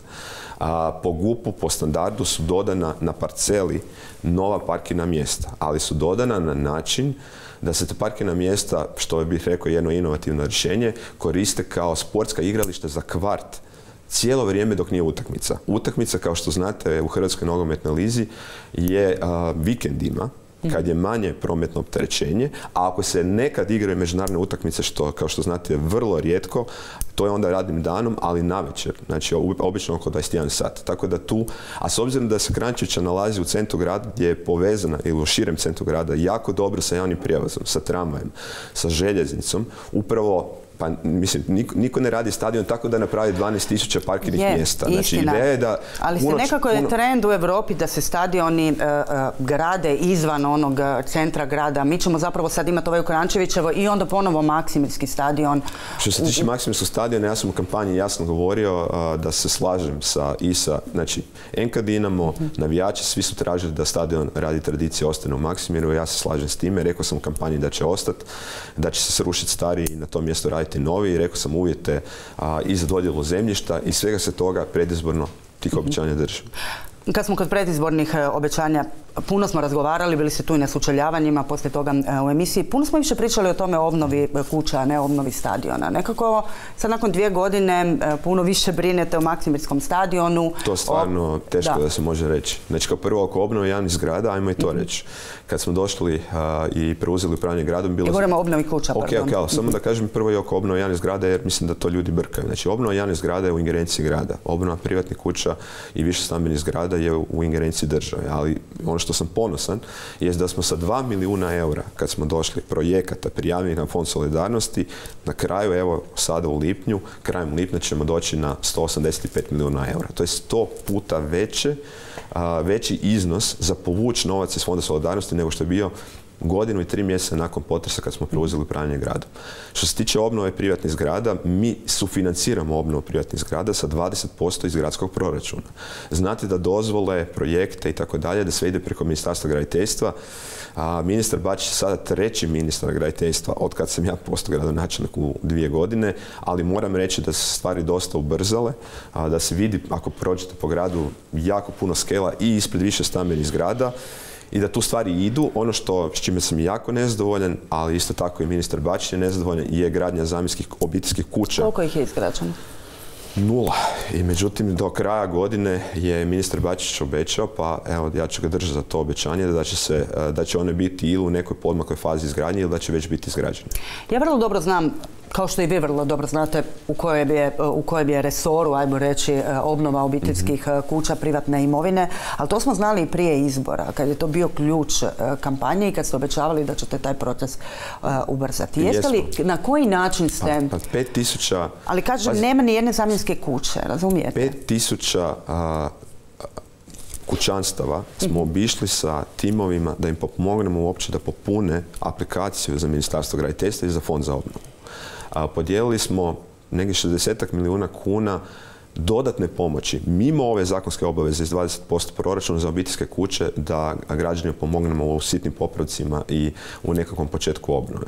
Tako da doista, čak smo i posuđivali i zaposlenike grada da ojačamo kapacitete fonda za obnovu. Znači, doista sve smo napravili što smo mogli da se ubrza ta dio koji je ipak u ingerenciji države i kažem, evo, došao sada treći ministar koji mislim da evo, doista radi dobar posao i vidim rezultate konkretne na terenu. Promijenio se zakon o obnovi, kao što znate, na način kako smo ga mi predlagali da bude od mhm. početka. Ja sam od početka kao saborski zastupnik upozoravao da kad imate tri institucije, kad imate Središnji državni ured za stambeno zbrinjavanje, imate Fond za obnovu, imate Ministarstvo graditeljstva, da to nije dobro, da će dolaziti do loše koordinacije, prepucavanja između njih ko je odgovoran što se na kraju dogodilo. Sad je to sve stavljeno pod kapu Ministarstva graditeljstva i zato mislim da su se procedure ubrzale ubrzale i druga stvar, što mislim da je izuzetno bitno, da se ide u predfinanciranje samo obnove. Znači građani a, kad idu u samo obnovu, znači da ne idu preko postupaka javne nabave od Ministarstva graditeljstva, a, to će se izračunati cijena koju mogu dobiti, dobiju taj novac unaprijed. Ovako bi se bojali da na kraju taj novac neće dobiti ili da će nešto, nešto zeznuti u proceduri, ovako ga dobivaju unaprijed i to siguran sam ubrzava samo obnovu jer su kapaciteti ministarstva takvi kakvi jesu. Znači Dvije ne mogu godine se ste dakle u, u fotelji prvog čovjeka Zagreba. Imate li vi tu viziju? Vidite li vi da će se Zagreb ikada obnoviti? Pa da Pogotovo nakon ove tri godine takvih ono razočaranja i u državu i u kapacitete da se se to obnoviti. napravi. Neko ko, ko tri godine, ne znam, živi u kontejneru, imamo takvih ljudi u Zagrebu. Kažem, što se tiče, e, ajmo i to reći, znači mi smo isto tako u gradske stanove, što je bivša vlast govorila da je nemoguće, zbrinuli ljude i iz kontejnera i iz hostela, a, arena, ne sve, ali one koji su mogli zadovoljiti zakonske uvjete, jer ne možemo ni mi ići mimo pravila, ali one koji su se prijavili smo zbrinuli u, u gradske stanove. Tako da smo i tu napravili iskorak kao grad. Doista sve što smo mogli. Ok, u toj Ali, znači, viziji, u toj viziji kada je znači, to ne Zagreb može, i to ne može ići preko noći, ali vidim napredak. Zato što grad izdaje dozvolu za svaku skelu koja se postavi, za svaku privremenu regulaciju prometa i doista vidim kako više stambene zgrade idu u, u, sa- u samu obnovu ili u organiziranu obnovu i ono što sada radimo s ministarstvom da to ne bude a, točkasto, sporadično, nego da to bude blok po blok, jer će tako puno lakše biti organizirati promet. Dobro, imate li onda tu ideju i imate li tu perspektivu, mi lajci to ne vidimo, ali imate li vi perspektivu kad ćete moći reći Zagreb je zapravo uh, prevladao potres? Sigurno će to trajati još godinama. Sigurno će trajati još godinama, ali ovo da... Nije isto tri ili ali- deset. Pa ne bi rekao baš deset, tu bi bio ipak e, optimističniji, ali što se tiče ovog sa obiteljskim kućama, to je apsolutno nedopustivo i, i tu je zapravo Zagreb bio na neki način čak i u lošoj situaciji nego ljudi na Baniji. A, kad govorimo o obiteljskim kućama i konkretno izgradnji, a, zamjenskih i tu držim ministra za riječ. Dosta ste o tome govorili, ali e, važna je stvar, e, to je ova promjena e, vezana uz porezna davanja, ukida se prirez, uvodi se porez, daje se vama gradonačelnicima zapravo taj raspon u kojem možete određivati porez na dohodak. Jeste li se možda ipak zaletili kad ste rekli odmah Zagreb će uvesti maksimum? Ne, nisam se zaletio jer želimo kažete, kažete da je to e, predizborni potez HDZ-a i vama je izborna godina iduća Nisam se godina. zaletio zato što sam u tim stvarima transparentan i odlučan.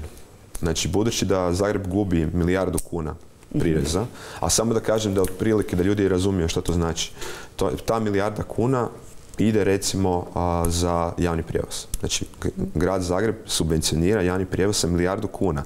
Samo 280 milijuna kuna od- se a, ostvari prihoda od prodaje karata u Zagrebu i pokaza a mi milijardu kuna dodamo na to da bi ZET funkcionirao sa pozitivnom nulom. Idemo se vratiti, oprostite, ja- na onaj moj uvod, kad ste već spomenuli, znači koliko se koliko se subvencija, vratit ćemo se apsolutno, koliko se subvencija daje. Idemo poslušati što su rekli radnici Zeta na prosvjedu koji je bio prošli tjedan. Prvo, rade u neljudskim uvjetima. Znači, vozači imaju jako velikih problema u prometu, od neispravnih vozila, ono što stalno ljudima ponavljam, neispravni vozila, servisi nemaju dijelova, ne može to održavati, male plaće, a da vidite hangare na šta liče. Ja vam, znači, čovjek dole radi u hangaru, u, u onome rupi, a gore mu e, golubi i vrane, da prostite, e, vrše nuždu po glavi. A da ne vidite kako to sve izmazano prljavo. A da ne pričamo o vozačima pruge, e, u lošem stanju vozila, katastrofalno mostaju bez kočnica, autobusi, da ne pričamo gore i tak dalje, tak dalje. A vozila koja su nabavila ni 140 je pola krepalo, to više ne vozi. Znači idu u nabavu još danjih 120 vozila koja nisu ni među prvih 20 u svijetu. A da ne pričamo da su pukla, da su se raspale i tak dalje. A o autobusima nećemo ni pričati šta se tamo događa. Ne, čelave gume stalno slikaju. E, Di su oni, evo, to će vam reći e, gospon koji vozi taj autobus, on će vam bolje to ispričati, ne za na autobuse. Situacija ne samo da je opasna po vozače, nego je opasna i po građane.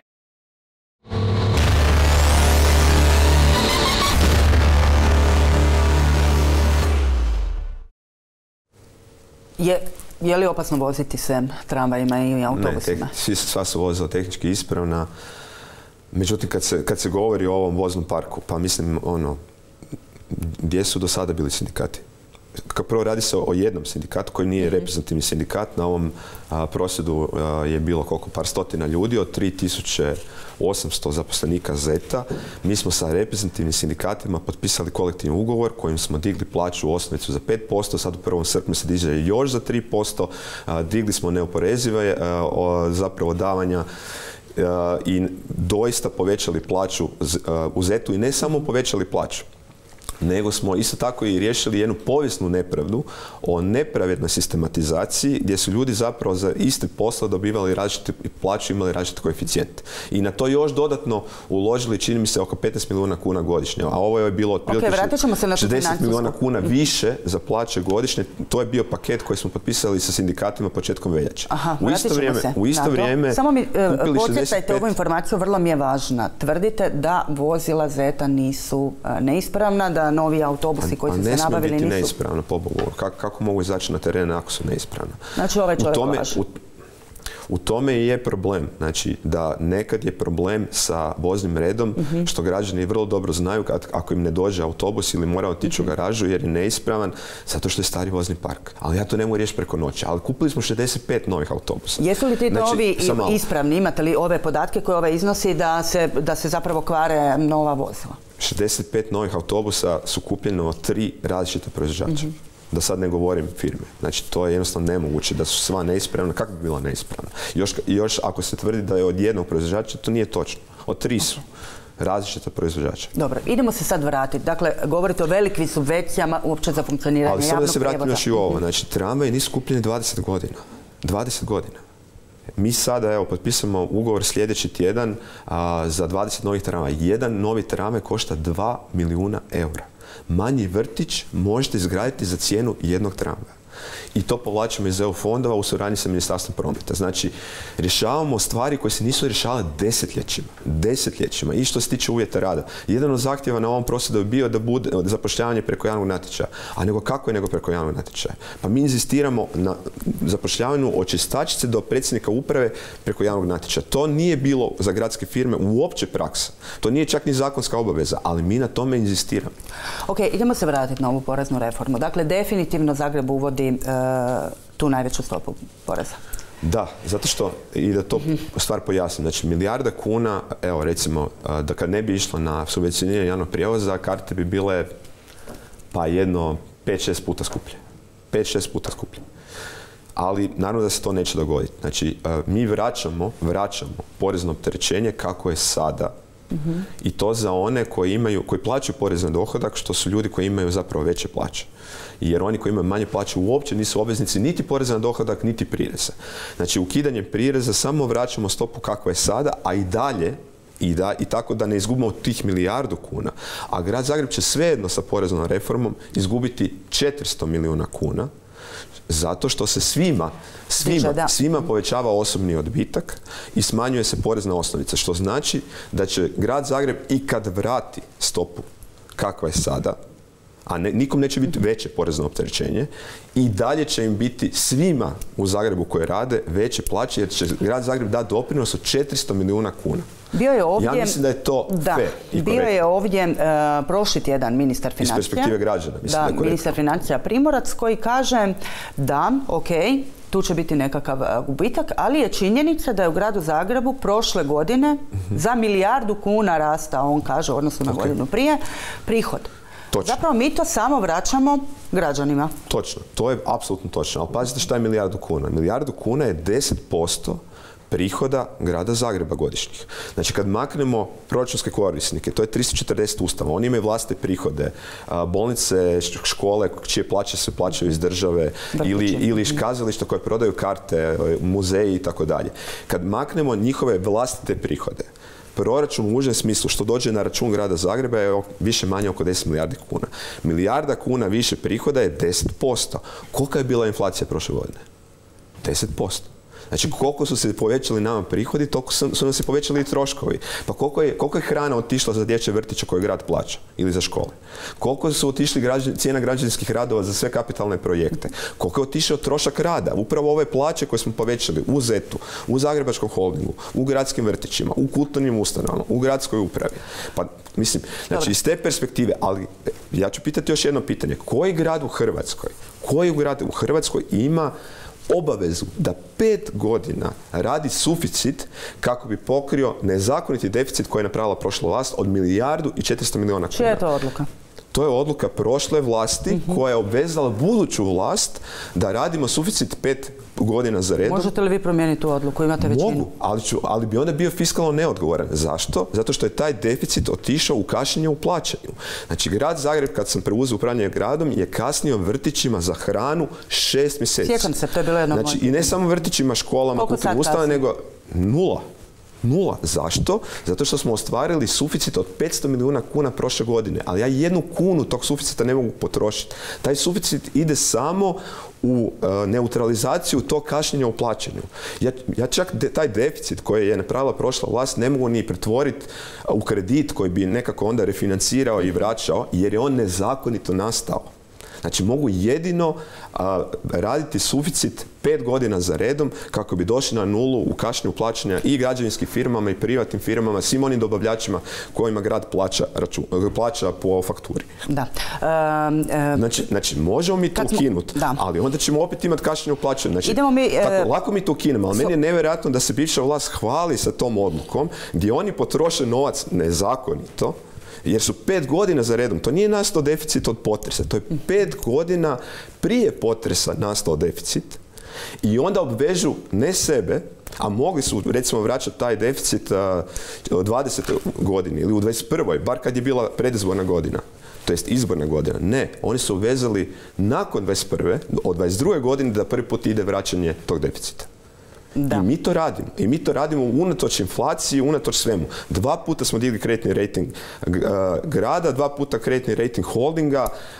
znači, doista smo imali grad i holding na rubu bankrota. I sad smo ga stabilizirali do mjere da, smo, da možemo plaćati sve u roku. I da svima dižemo plaću u skladu sa inflacijom. U skladu sa inflacijom. Znači, to sad zvuči kao e, jedno čudo, pa me zanima u idućoj godini, mislim, s pa- obzirom da će određeni gubitak ipak nastati, hoće li rasti koje, Mi e, radimo koje sve usluge? što možemo da cijene komunalnih usluga ne rastu. I zato kažem još jednu stvar.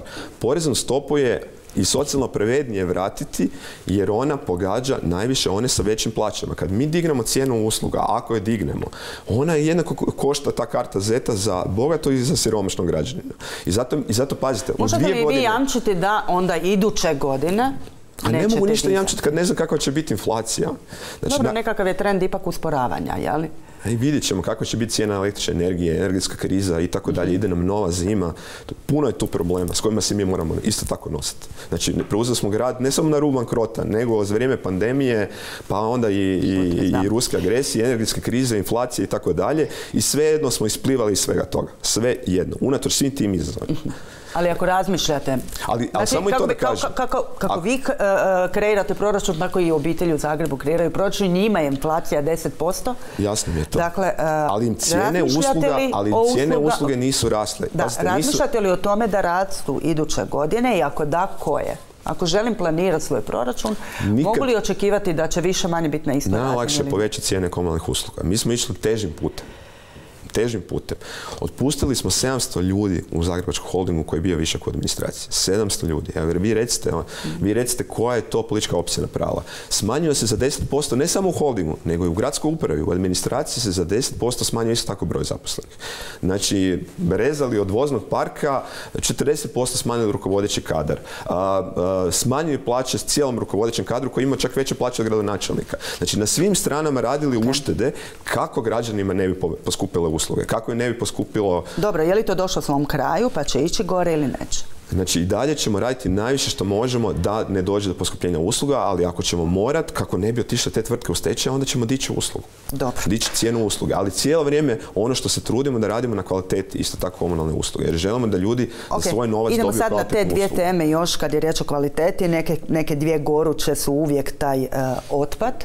Dakle, za 30% je povećana, Povećano e, odvajanje povećano otpada. odvajanje e, otpada. I to isto recite koji je grad to uspio u pola redu, odlično. napraviti. Namjeravate li e, dodatno, imate li prostora dodatno, kako bi rekla, češće odvoziti taj otpad jer se on se doista nakuplja oko, oko tih kontejnera, radimo- pogotovo je problem sa plastikom. Znači, sad, znači sada se za one koji koriste kontejnere, one od 1100 litara, a za papir i plastiku to jednom tjedno odvozi. I papir i plastika.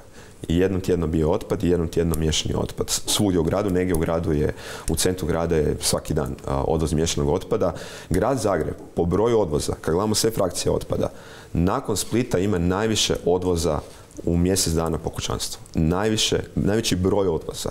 Međutim, i dalje kupujemo nove kamione i unajmljujemo do tada a, druge kamione, po- pokušavamo povećati broj radnika što nije lako jer vidite da niko ne može naći radnike, zato smo i morali i povećati plaće a, jer fali radnika u građevini, fali Možete li vi jamčiti da e, ti radnici i dalje e, ne trpaju e, iste, u isti kamion različite? Pa mogu, jer mi se to, kao što znate, danas svako ima mobitel i kameru i to se vrlo brzo snimi i vidi. U najmanju ruku, cijeli onaj slučaj sa štrajkom je barem pokazao da doista otpad sav taj ne ide na isto mjesto. Jer kad bi išao onda zašto bi, zašto bi uopće bilo problema, zašto bi bilo i otkaza i tako dalje. Znači jedna- taj otpad Mhm. ne ide na isto mjesto. Još to građani stvar- moraju znati. Dobro, još jedna stvar, e, e, zastupnik Petek iz Gradske skupštine vrlo često govori o tome da zapravo nije odno- e, promijenio odnos prema pripuzu, da i dalje on To od grada zarađuje. Kao i mnoge Ok. stvari, ni to nije točno. Znači, a, a, kad gledamo godinu dana prije u odnosu kad smo preuzeli upravljanje gradom, a, prihodi CIOS grupe su se prepolovili. Prepolovili. Zašto? Zato što glomazni otpad više, kao što znate, CIOS grupa ne zbrinjava od grada Zagreba. Sjećate se vi onih situacija kad smo mi nismo htjeli konzumirati taj ugovor, pa, pa smo poništili javnu nabavu, pa nam je Dekom poništio tu odluku, pa smo morali potpisati ugovor, ali ga nismo konzumirali. Ni jednu kunu nismo konzumirali taj ugovor. I grad to radi sam, pa smo govorili da ćemo nabaviti drobilice, pa, pa je bio pa je Da. bila histerija medijska, sad će drobilice sve riješiti, da će biti glomazni otpad cijelo vrijeme na ulicama i tako dalje. Sve smo to riješili zato što smo obećali građanima da one stvari koje grad može sam raditi će raditi. Isto tako u biootpadu, isto, isto tako što se tiče biootpada. Samo tu je napravljena ušteda oko 60 milijuna kuna godišnje u čistoći upravo na ove dvije frakcije otpada. E, Dvije još važna tema, a pet minuta. Zato vas molim onako za dinamiku. E, dinamiku, e, pa da. nadam se da je dinamično. E, Vrtići. Koliko je prijava, znamo da su završili upisi, koliko je prijava djece i koliko će djece ove godine Ne mogu još to reći vrtića? točno, do do 5. lipnja su trebali upisi, ne mogu još točno Danas je reći 11. Mhm. Ne mogu još točno reći koji je broj prijava, zato što imate uh, duple prijave i morate proći u cijelom sustavu uh, da to pročiste i to ćemo napraviti u sljedeći, čini mi se, neki desetak dana, kad ćemo objaviti i broj prijava i uh, Ok, ali prvi jeste li primijetili trend zbog činjenice da je e, ukinut model e, financiranja e, majke odgojiteljica, odnosno roditelja Roditelj, odgojitelja?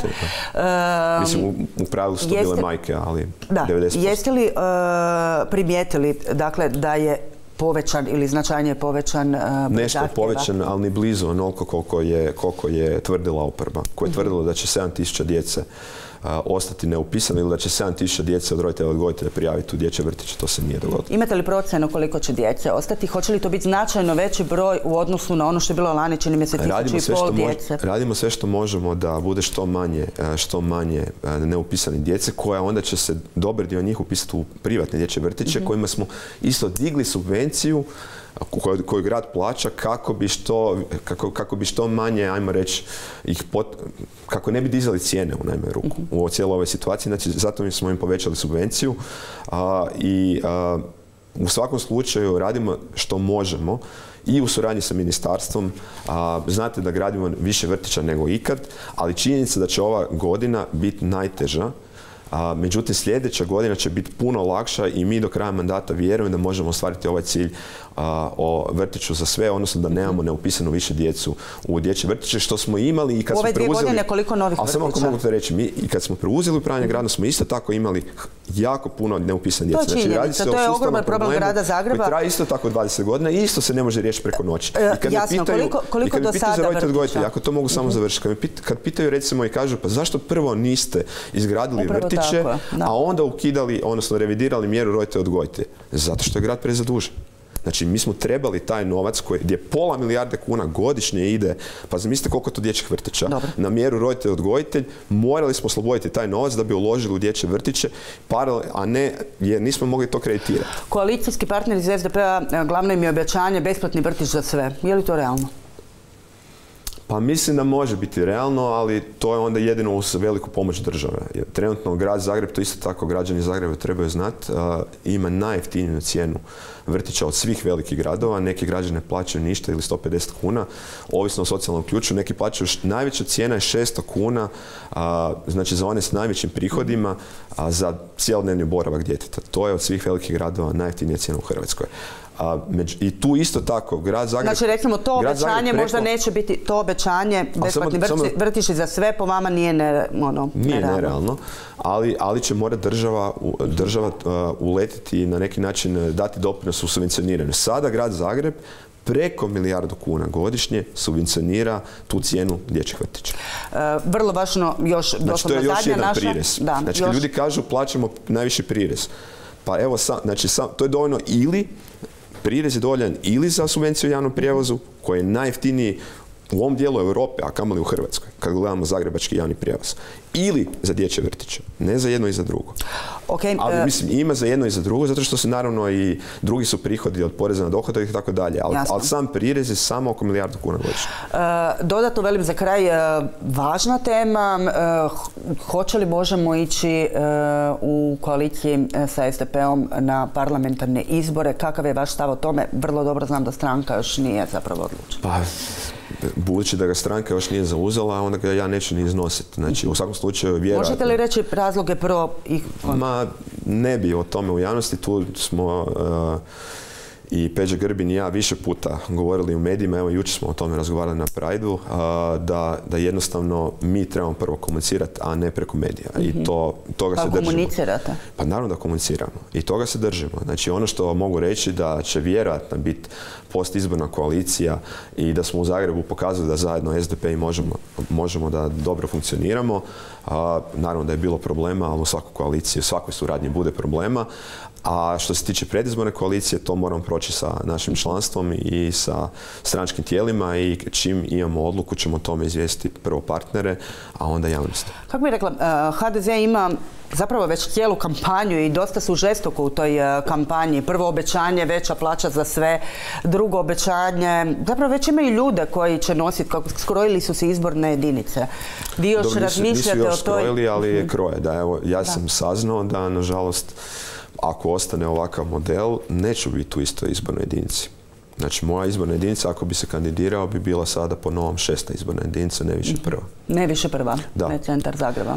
Da, znači, evo, to kad pričam ljudima, evo, baš neki dan u Rijeci, da ono, jedna tramvajska linija, što vrlo dobro znate, to svi koriste kao primjer, ide kroz tri izborne jedinice po novom modelu, ljudi ne mogu vjerovati.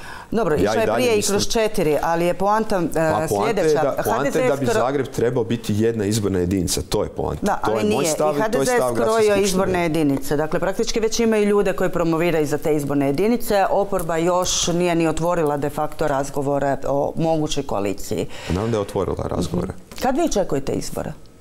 Pa ja ih očekujem na proljeće sljedeće godine. I, mislite, i do tada ćete biti spremni, jel? Pa naravno da ćemo biti. Hoćete se vi kao gradonačelnik a, više A angažirati? nismo s donijeli konačno, pa sigurno će se angažirati, a, ali ka- na koji točno način, to ćemo isto u, u stranci odlučiti. I još samo za kraj, a, mislite li da razjedinjenost oporbe može igrati za, za Plenkovića? Pa mislim, Jeste li nekako vazali, razjedinjenost i vazali desni- to, e, išli ste na izbore zapravo u Zagrebu odvojeno, Sam. mislite li da je to dobar e, model i za... Ma evo sad što god vam kažem, tu ću onda nešto natuknuti tako da bi radije to propustio. U svakom slučaju vidite i na, na desnoj strani političkog spektra da su svakakve razgovori, slaganja i tako dalje, da ni tu baš nema nekog predizbornog, a, predizborne koalicije. Je to igra za HDZ? Pa mislim da i ne, zato što je ono što je pitanje HDZ-a je njihov, kao što znate, uopće postizborni koalicijski potencijal. Oni su odlučili ići samostalno i to je nešto što HDZ uvijek uglavnom ide. Međutim, kako će im biti, kako će im partneri proći, to ćemo tek vidjeti.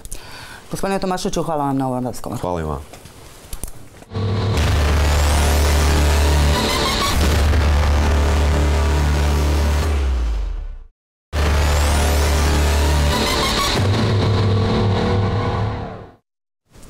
U studiju pozdravljam Sanju Sarnavku, članicu uprave zaklade Solidarna. Dobar dan, dobrodošli u Točku na tjedan. Idemo početi nekako ovaj razgovor e, o ovoj teškoj temi zapravo.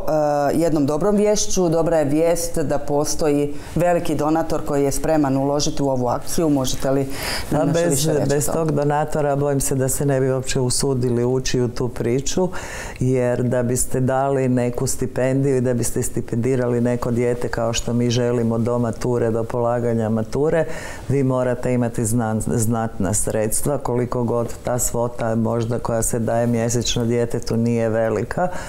Tako da je ta priča u kojoj nam je donator koji još nevjerojatno, ali želi ostati anoniman, rekao evo ja rezerviram, ja ću rezervirati 40 tisuća eura i za svaki uplaćeni euro ja odmah dodajem svoj do te granice, granica je 40 tisuća eura, tako da bismo mi na kraju trebali imati barem 80 tisuća, ali što opet kad zbrojite to je negdje možda za godinu i pol dana financiranja tog kako mi zovemo jednog razreda jer bismo htjeli 30 djece Da, baš sam htjela pitati koliko bi zapravo sa tom svotom od 80 tisuća 30 eura. djece s tim da je sad grozno to što smo mi u tom kratkom razdoblju što smo jer to se ne javljaju roditelji sami ili djeca nego smo mi ciljano znači slali prvo u slabije razvijena područja u Hrvatskoj ali onda i u Zagrebu i drugdje znači u centre za socijalnu skrb u osnovne škole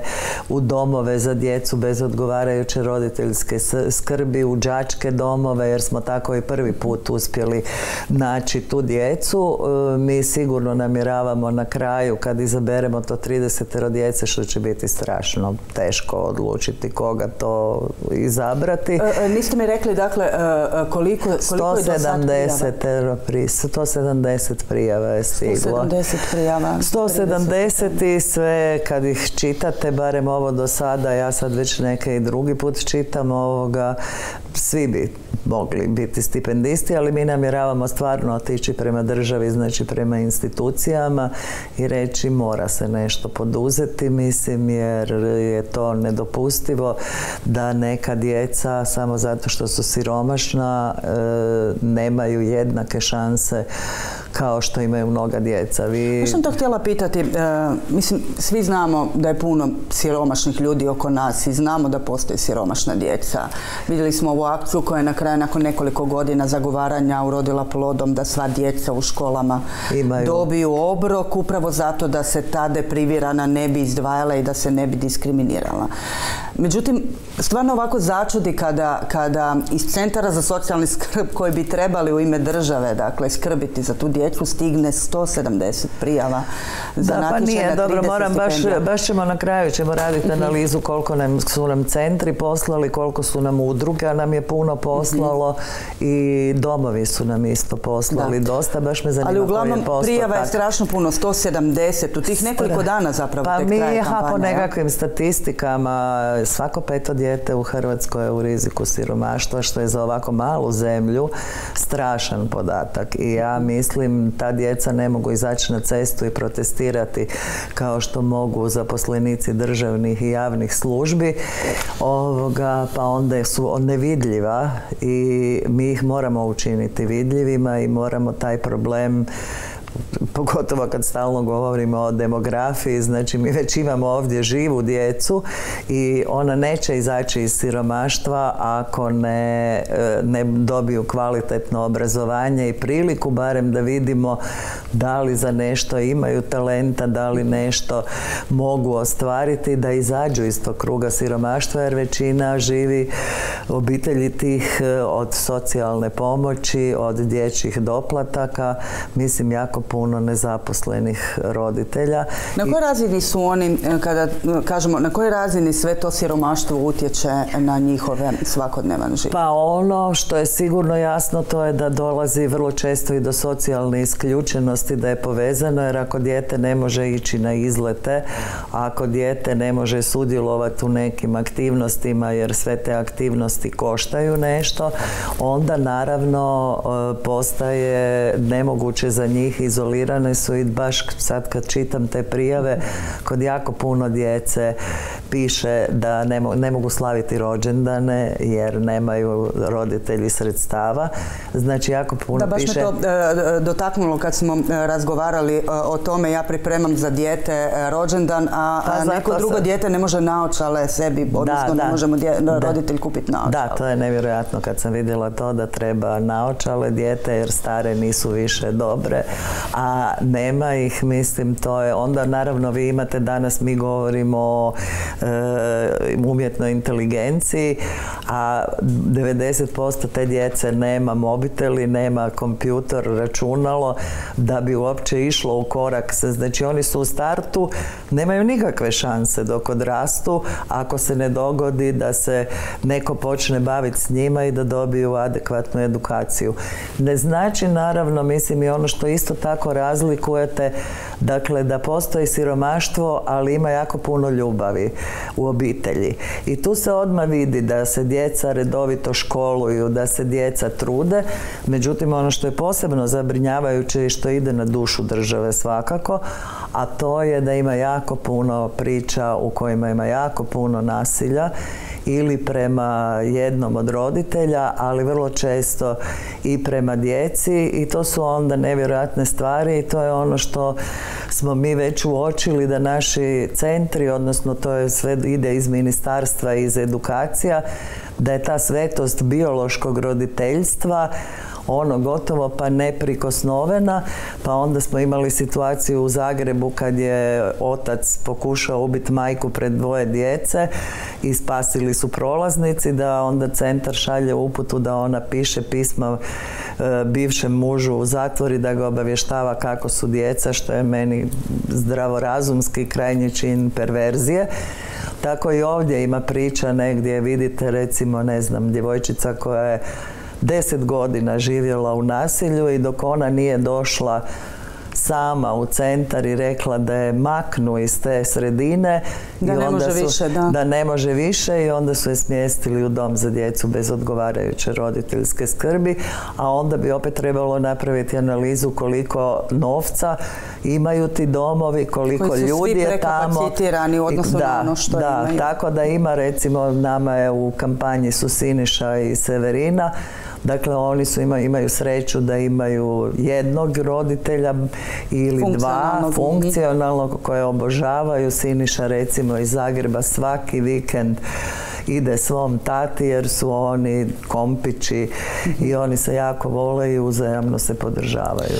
E, koliko djece ćete moći stipendirati? Pa dakle, pa 30, koja je namjera? 30 mi ih zovemo razred i ja se toplo nadam jer u ovoj e, grupi prošloj koju smo financirali zahvaljujući novcu gospođe Dese smo e, jako bili hendikepirani u tom dodatnom radu uz davanje e, stipendije, zato jer je naprosto dogodila se korona, pa potres, dosta njih je iz tog potresom pogođenog područja pa smo onda obiteljima pomagali taj, na taj način kroz naš mm-hmm. fond 5.5 koji je opet e, stvarno tamo i kontejnere dovozio pa gradio montažne kuće.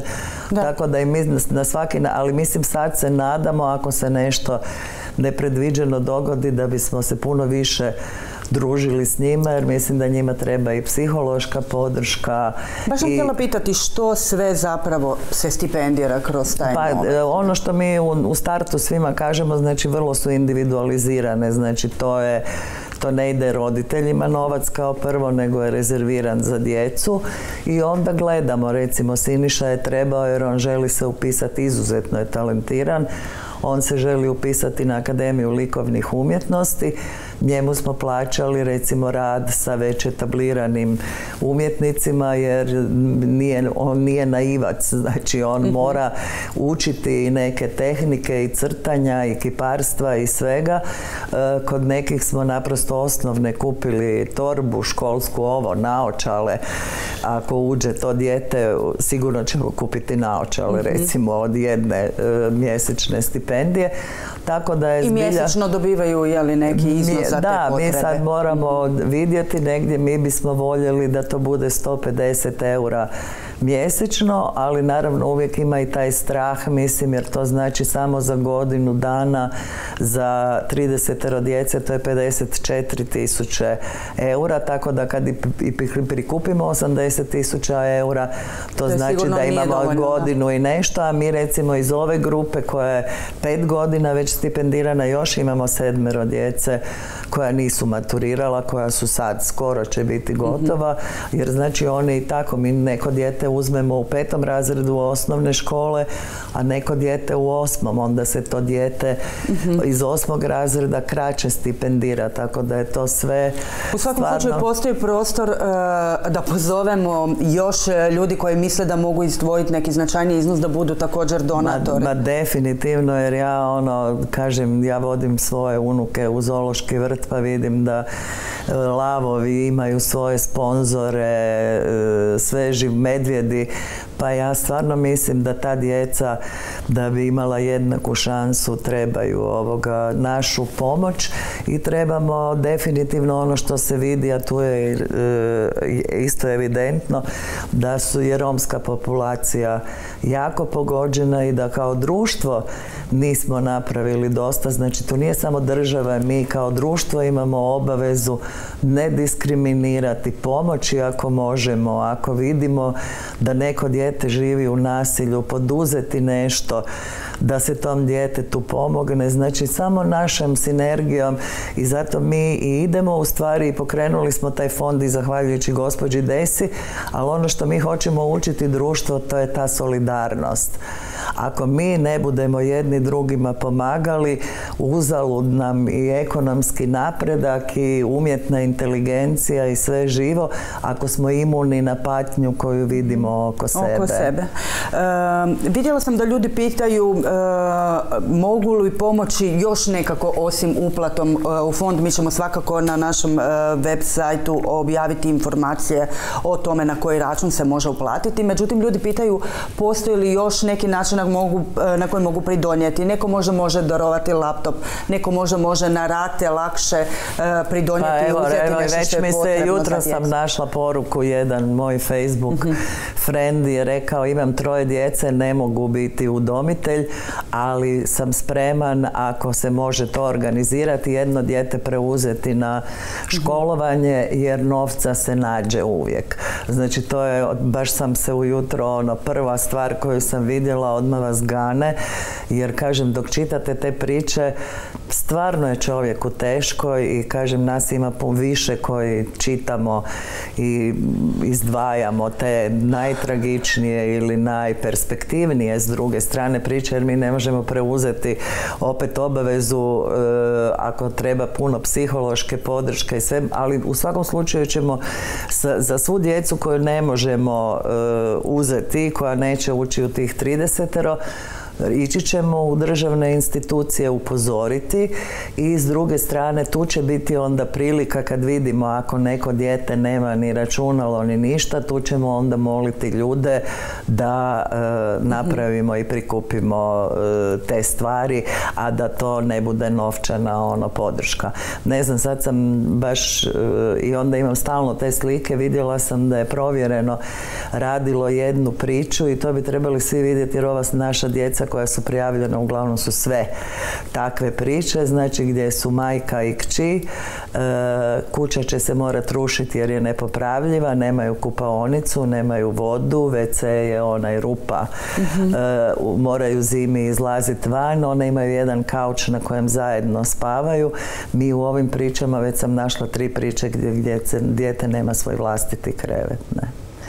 Tako da, da je zbilja nije ono da se pretjeruje, nego stvarno tog siromaštva ima apsolutno previše i kažem ako mi kao društvo i država ne udružimo se onda e, neće biti dobro. Meni se čini da i država ne radi dobro, dovoljno dobro i ne daje dovoljno sredstava, ali kažem očito je to sad djeca ne mogu izaći na prosvjed okupice jer su ovdje i svih. Imamo sa otoka, iz ovih e, slabije razvijenih sredina i ono što je važno, pitati, tu će nam do biti... Sada, do sada je li to ograničeno na neki dio Hrvatske? Iz čitave Hrvatske imamo prijave, ali iz nekih područja ih ima definitivno više, jer sad su i ove do kojih mi nismo došli u ovom prvom ciklusu se još javljaju da su im stradale kuće u potresu, dakle Banije ima Mhm. sigurno jako, puno, Slavonije ima isto tako, tako da i to je bila i želja gospođe Dese, jer moram reći da je njezin cilj kad je ona još za života prodala stan, ali se dogovorila da može do smrti